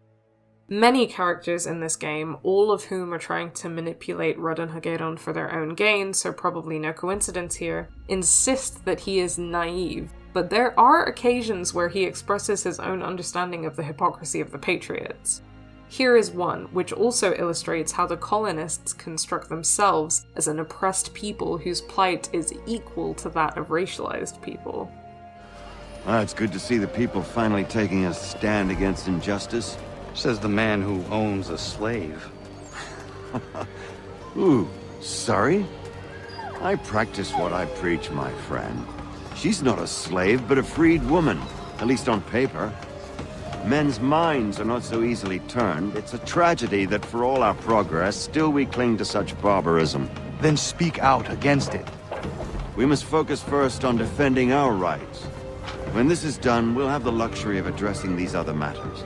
You speak as though your condition is equal to that of the slaves. It is not. Tell that to my neighbor who was compelled to quarter British troops, or to my friend whose store was closed because he displeased the Crown. The people here are no freer than Surrey. You offer excuses instead of solutions. All people should be equal, and not in turns. It's in turns, or not at all. Samuel Adams also reveals that the Patriots will bend the truth in order to obtain their goals. And we need to get to work on our message. Message? We must contact the broadsheets at once. Ensure it's clear to everyone that it was the Loyalists who fired first in Lexington. But no one knows who fired first. Which is exactly why we must spread the news quickly. We'll determine public opinion. This seems dishonest. Perhaps, but so what? People must believe we acted in self-defense, else we've committed treason. But you have. Better to bow and scrape before a tyrant, then? Is that what you suggest? No, of course not. No one should be denied freedom. And yet, to change the truth, it seems a dangerous road to travel. Understand, Connor. This is a war fought not just on the battlefield, but within hearts and minds as well. There's nothing wrong with a bit of theater, especially if it saves lives. At one point, even William Johnson, an assassination target associated with the Loyalists and the Templars, points out the hypocrisy of the Patriots, though he does do a bang up job of constructing himself as a white savior instead. Do you think that good King George lies awake at night, hoping that no harm comes to his native subjects? Or that the people of the city care one whit about them? Oh, sure. The colonists are happy to trade when they need food or shelter, or a bit of extra padding for their armies. But when the walls of the city constrict, when there's crops that need soil, when there's... when there's no more enemy to fight, we'll see how kind the people are then. The colonists have no quarrel with the Iroquois. Not yet, but they will. Tis the way of the world. In time, they'll turn. I... I could have stopped it. I could have saved you all. You speak of salvation, but you were killing them. Aye, because they would not listen. And so, it seems, neither will you. So it seems pretty clear that the colonists aren't much better than the British colonizers. They construct themselves as colonized, oppressed by colonizing power, when in reality, as settlers, they directly enact colonial violence themselves, and they're perfectly happy to continue to do so after the Revolutionary War when they have their own government. The two part epilogue reinforces this. In Kanatahséton, Rodon village is found empty, and he has a conversation with a man who criticizes the new American government, explaining that the land has been taken by them. In Evacuation Day, Rodon watches celebrations in Boston as the British leave the city, but he also notices that Africans are being sold as slaves on the same dock. Clearly, the injustices of the settler colonial state are virtually the same as before, even, as the stranger in the village implies, getting worse and more insidious.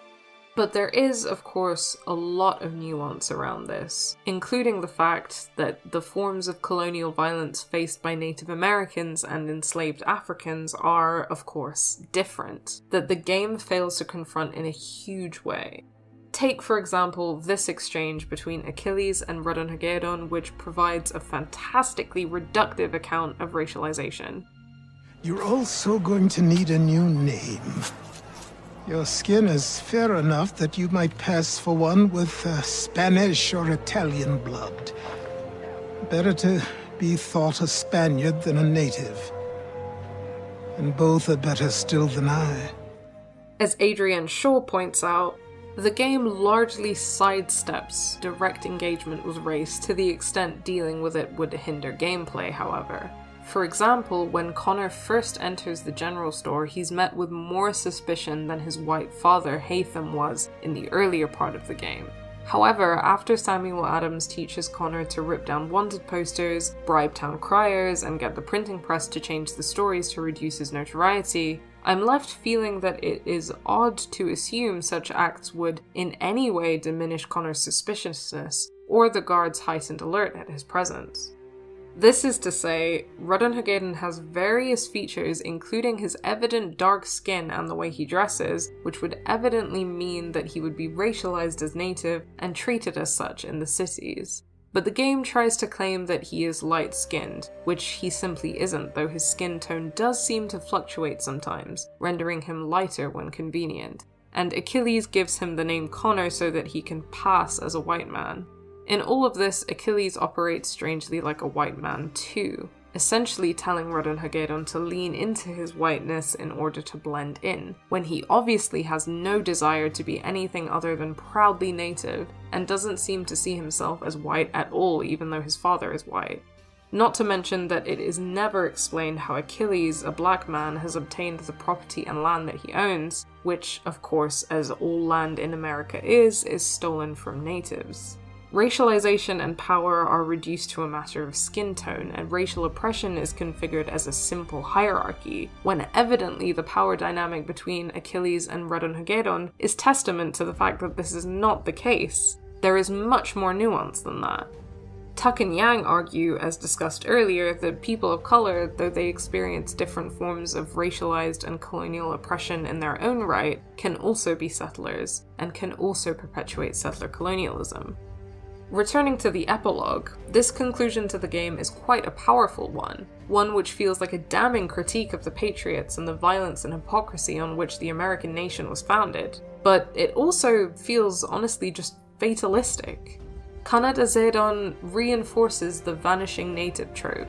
All notable native characters other than Ratonhnhaké:ton are dead, and he is a lone survivor.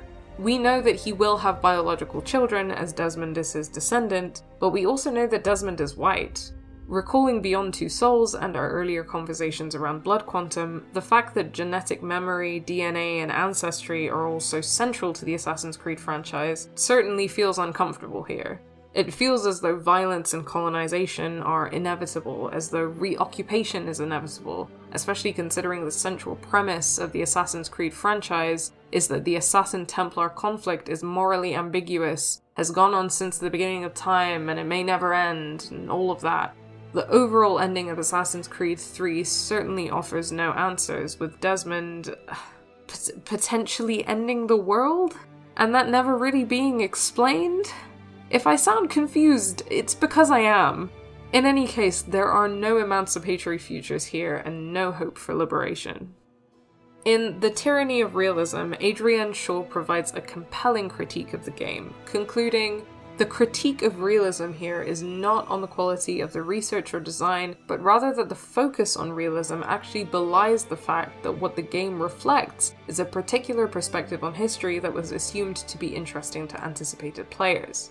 The tyranny of realism is that games are focused too much on questions of accuracy rather than emancipatory possibility.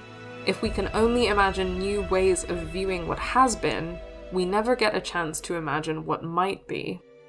As far as historical accuracy is concerned, it is true that many natives across the US chose to side with either the Patriots or the Loyalists, most often the latter, during the American Revolutionary War. It is true that land treaties were broken, villages were displaced or wiped out, but the persistence of the vanishing native trope in media is so damaging precisely because it frames natives as a people of the past, people who are already extinct and have no present, let alone any future. And this simply isn't true. Native Americans are alive, and they are resisting, as they always have been. The Assassin's Creed franchise already engages in historical revisionism, it merely purports to historical accuracy, and claims of historical accuracy, as Shaw points out, can always be questioned. So if we're going to write historical fiction anyway, why not admit it's fiction? Why not make it uplifting, radical, emancipatory? This, among other things, speaks to the creators and to the target audience of Assassin's Creed. An emancipatory story in which Ratonhnhaké:ton had united his village in the name of their collective liberation and future would not fulfill the masculinist, individualist MO of the Assassin's Creed franchise. Interestingly, when we come to the DLC, Shaw argues in the downloadable add-on Tyranny of King Washington, as Ratonhnhaké:ton is in an alternate world, the player battles alongside his people and still living mother to free the land from a maniacal George Washington. In a game invested in historical detail, this anti-colonial revenge fantasy is simply not an option as the main game. Only in a hyper-fictional add-on can there be a reimagined history where Native Americans could be victorious. Even then, the end result of the story is that things are returned to normal and America stands as it always has. And overall, I would agree with this reading. My disappointment with the DLC, however, is largely contained in this end note that things are returned to normal and America stands as it always has. The entire premise of the tyranny of King Washington is that we are in an alternate universe, and in this universe, George Washington has gone mad with power and is massacring Native Americans. When I put it like that, surely that doesn't actually sound that far from reality, right? But the game constructs this as a terrible alternate future which must never come to pass. The implication is that if in this timeline Washington is tyrannical, he's not so tyrannical in the other one.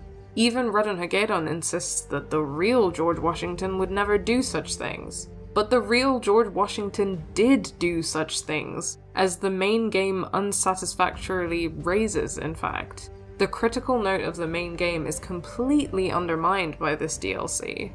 Let me quote the real words of this not so bad George Washington in his 1779 order to General Sullivan demanding the genocide of the Iroquois nation in the so called Sullivan Expedition.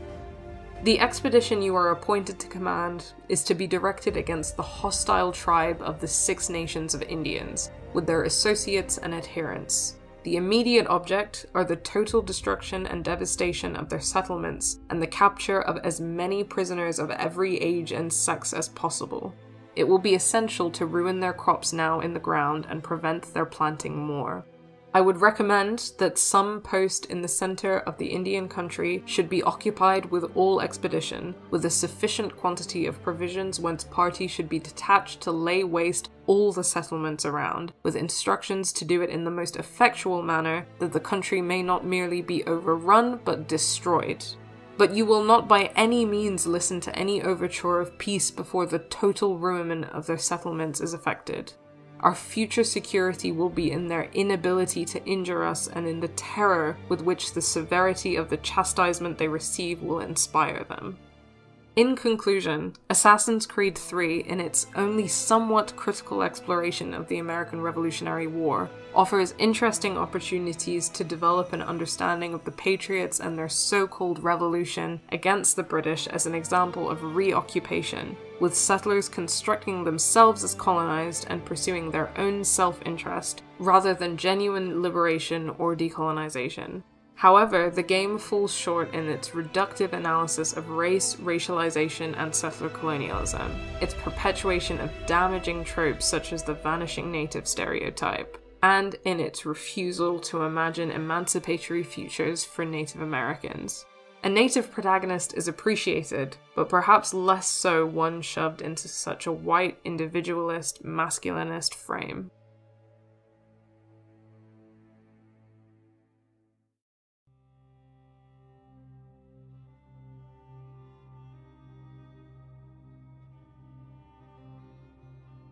As we've covered in multiple parts of this essay, especially the section on Assassin's Creed 3, the United States as it exists today was built on land stolen from Native Americans. Settlers in the US are frequent culprits of settler moves to innocence, but most are unwilling to do the repatriation work needed to truly decolonize the land. True decolonization is unsettling and radical, something that isn't exactly appealing to the settlers themselves. Indigenous people across the US have multiple grassroots campaigns that you can support to show your solidarity. Native Americans are not a monolith, and the different tribes in different areas of the states will be looking for different things from their direct action. The main drivers of Indigenous organising are land repatriation and an end to anti Indigenous violence. If you live in the US, Resource Generation has a fantastic list of questions and best practices to consider when working on your interpersonal approach to decolonisation. These include asking yourself, what is the history of any land you indirectly slash directly have access to? Who are the native people slash communities where you live or in the land that you have access to? And what are the visions and struggles of indigenous people slash tribes in the area you live or have access to land in? To support native land conservation, consider Native Land Conservancy in Mashpee, Cape Cod, Massachusetts, and First Light, which connects conservation organisations with Penobscot, Passamaquoddy, Maliseet, and Mi'kmaq communities who seek to expand Wabanaki stewardship of land. You can donate directly to Native Land Conservancy or become a member, and First Light's website has a whole host of resources on decolonisation in the settler colonial context, Indigenous land loss, its links to conservation efforts, and an archive of native art, music, podcasts, and writing. If you are Christian, Berkeley Carnine and Lisa Minnow Bloom recommend taking responsibility for your Christian privilege and the doctrine of discovery, a theological justification for the theft of indigenous land. Challenge the notion that the settler church was divinely ordained within your church community. Start conversations about saints or lauded leaders of faith who were directly responsible for conquest. Learn how your church acquired its land and whose land it was originally. Learn the history of your denomination's relationship to conquest. Consider that within Christian traditions there are built in practices for atonement and reparations. Get creative with your spiritual community about what atonement and reparations might look like. If it is possible, try and connect with the indigenous tribe or nation in your area to work on this.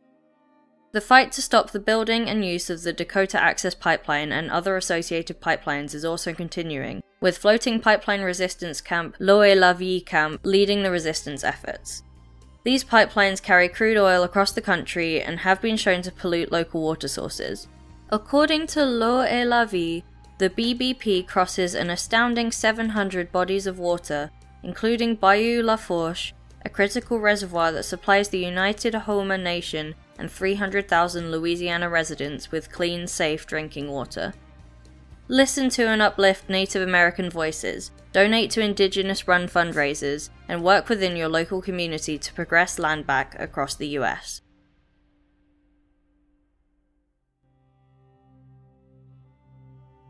While our main focus in this essay has been on anti Indigenous racism and settler colonialism faced by Native Americans, if you're watching this video, and especially if you've made it this far, you've probably heard about the state of Israel's most recent violence against the Palestinian people, through displacements in the Jerusalem neighborhood of Sheikh Jarrah and through the bombing of Gaza.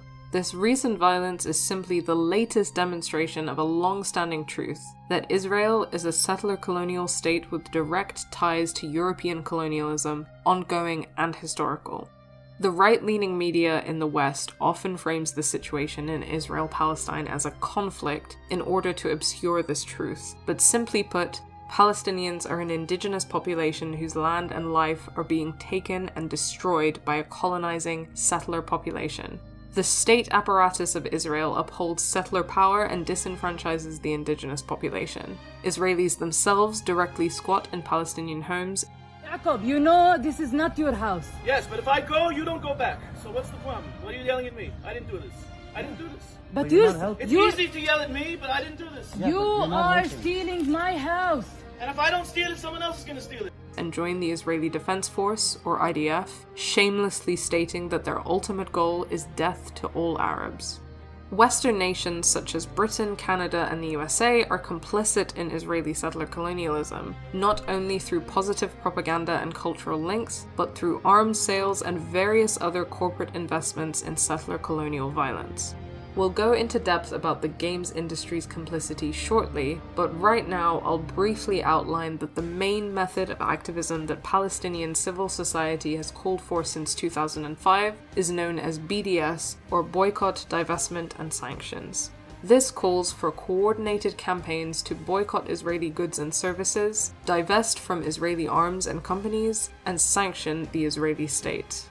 Personal boycotts are great, but BDS is most useful when targeted pressure is applied on organizations and governments. You can certainly personally boycott products and tell your friends to spread the word far and wide, but some of the most effective work you can do includes, for example, investigating your workplace's complicity in Israeli settler colonialism and lobbying for divestment, or coordinating people to mass email their political representatives, calling for them to speak up and use their position to call the government to impose sanctions. Humanitarian aid is great as well, but ultimately BDS is the long term political tactic which Palestinians have directly called for the international community to engage in. To learn more than this brief summary can encapsulate, check out bdsmovement.net for information on which companies to target your boycott campaigns, and decolonizepalestine.com to learn more about the colonization of Palestine, including history and myth busting of right wing propaganda directly from Palestinians.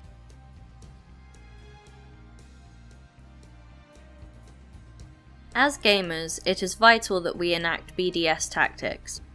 According to the website BDS List, high tech accounts for 75% of Israel's industrial exports.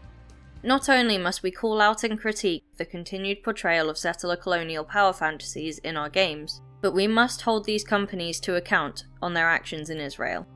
The official BDS movement lists boycotting HP or Hewlett Packard as one of its major global campaigns. HP is a major manufacturer of laptops, printers, and gaming specific hardware and peripherals through their HP Omen line. HP Omen is still the official PC sponsor and provider for the Overwatch League. BDS activists are calling for a boycott of HP products and services, stating that they are complicit in Israel's occupation, settler colonialism, and apartheid regime. They provide computer hardware to the Israeli army and maintain data centers through their servers for the Israeli police.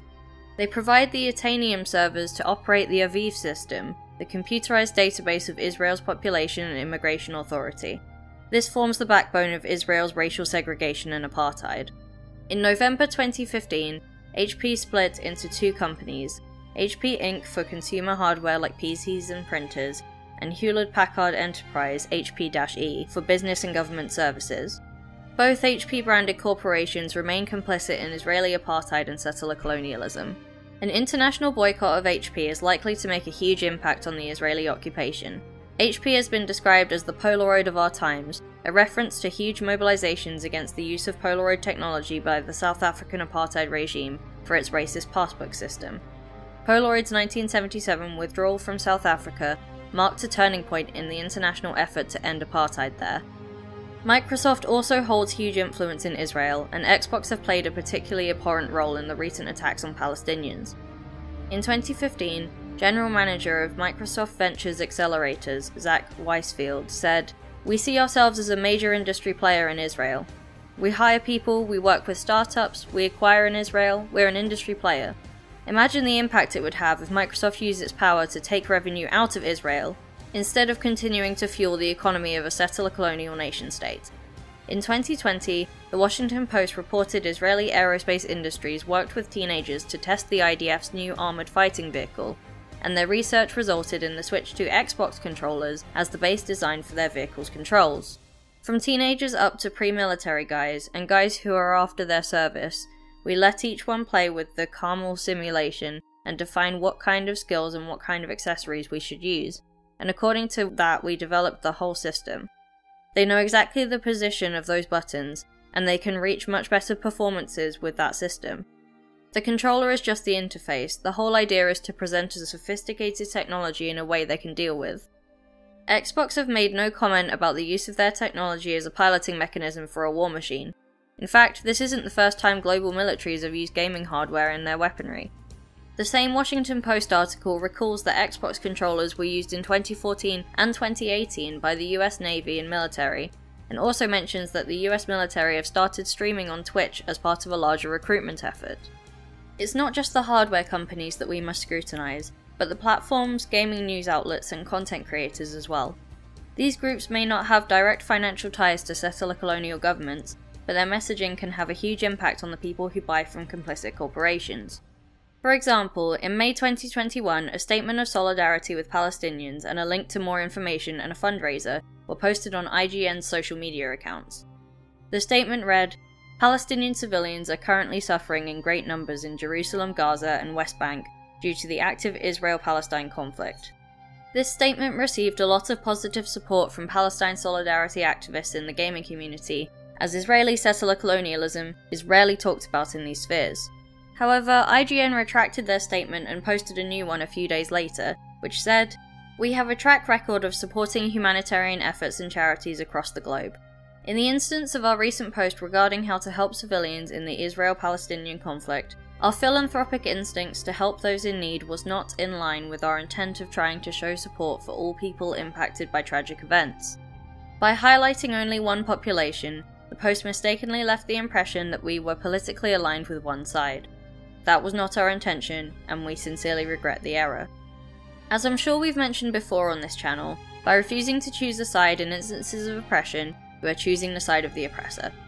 Indecision and neutrality still cause harm. It seems that this was a case of corporate overreach and demonstrated a blatant disregard for the most basic standards of journalistic integrity and editorial independence, according to the letter written and signed by 66 IGN employees who were appalled by the removal of the original post, as well as its neoliberal replacement. IGN's Israel branch published their own statement following the initial post from IGN, stating amazement at the piece and condemning it. They also said, We at IGN Israel support the state of Israel, obviously, and support IDF soldiers who do everything to keep us all in these tough days. Views critical of Israel are being shot down from multiple sources at IGN, maintaining the company's complicity in Israeli apartheid and settler colonialism. The Game Awards 2020 also platformed former IDF member Gal Gadot to present the Game for Impact Award. Gadot is best known for her role in the DCEU as Wonder Woman, and has faced criticism in the past for her defense of and active role in Israeli settler colonialism. While it is true that all Israeli citizens are conscripted into the IDF, this does not absolve Gadot of her direct involvement in Palestinian genocide. If the 19 year old owner of at legit Tay updates could refuse to join the IDF, so could Wonder Woman. In May 2021, Gadot reaffirmed her views in an Instagram post that centered the suffering of Israeli colonizers despite the much larger losses of Palestinian life. My heart breaks. My country is at war. I worry for my family, my friends. I worry for my people. This is a vicious cycle that has been going on for far too long. Israel deserves to live as a free and safe nation. Our neighbours deserve the same. I pray for the victims and their families, I pray for this unimaginable hostility to end. I pray for our leaders to find the solution so we could live side by side in peace. I pray for better days. This statement is tame compared to some IDF TikToks yelling death to all Arabs, but it still frames the situation in Palestine as a conflict rather than a site of settler colonialism, where the settler oppressors are attacking the oppressed natives. Palestinians killing Israelis in self defense is incomparable to the systematic acts of genocide against Palestinians by the State of Israel. As a community, it is our duty to call out and organise against these instances of complicity in settler colonialism when we see them, not just in our industry, but across the board. Challenge the use of the word conflict when talking about Israel, engage in BDS activities where you can, and continue to fight for a free Palestine when the mainstream media goes silent once more. Thank you so much for taking the time to watch this video. If you enjoyed it, please do give it a like and be sure to comment. As always, a huge thank you to our patrons who make videos like this possible. We genuinely couldn't do this without you. Special thanks to our ambassador tier patrons, Beatrix Livesey Stevens, Fizzlefur, and Maxime Ari. And thank you so much to Henry is Human, not only for being a patron, but for taking the time to record footage from Star Wars Knights of the Old Republic for use in this video. If you aren't a patron already, please consider supporting us over at patreon.com slash gameassistyt.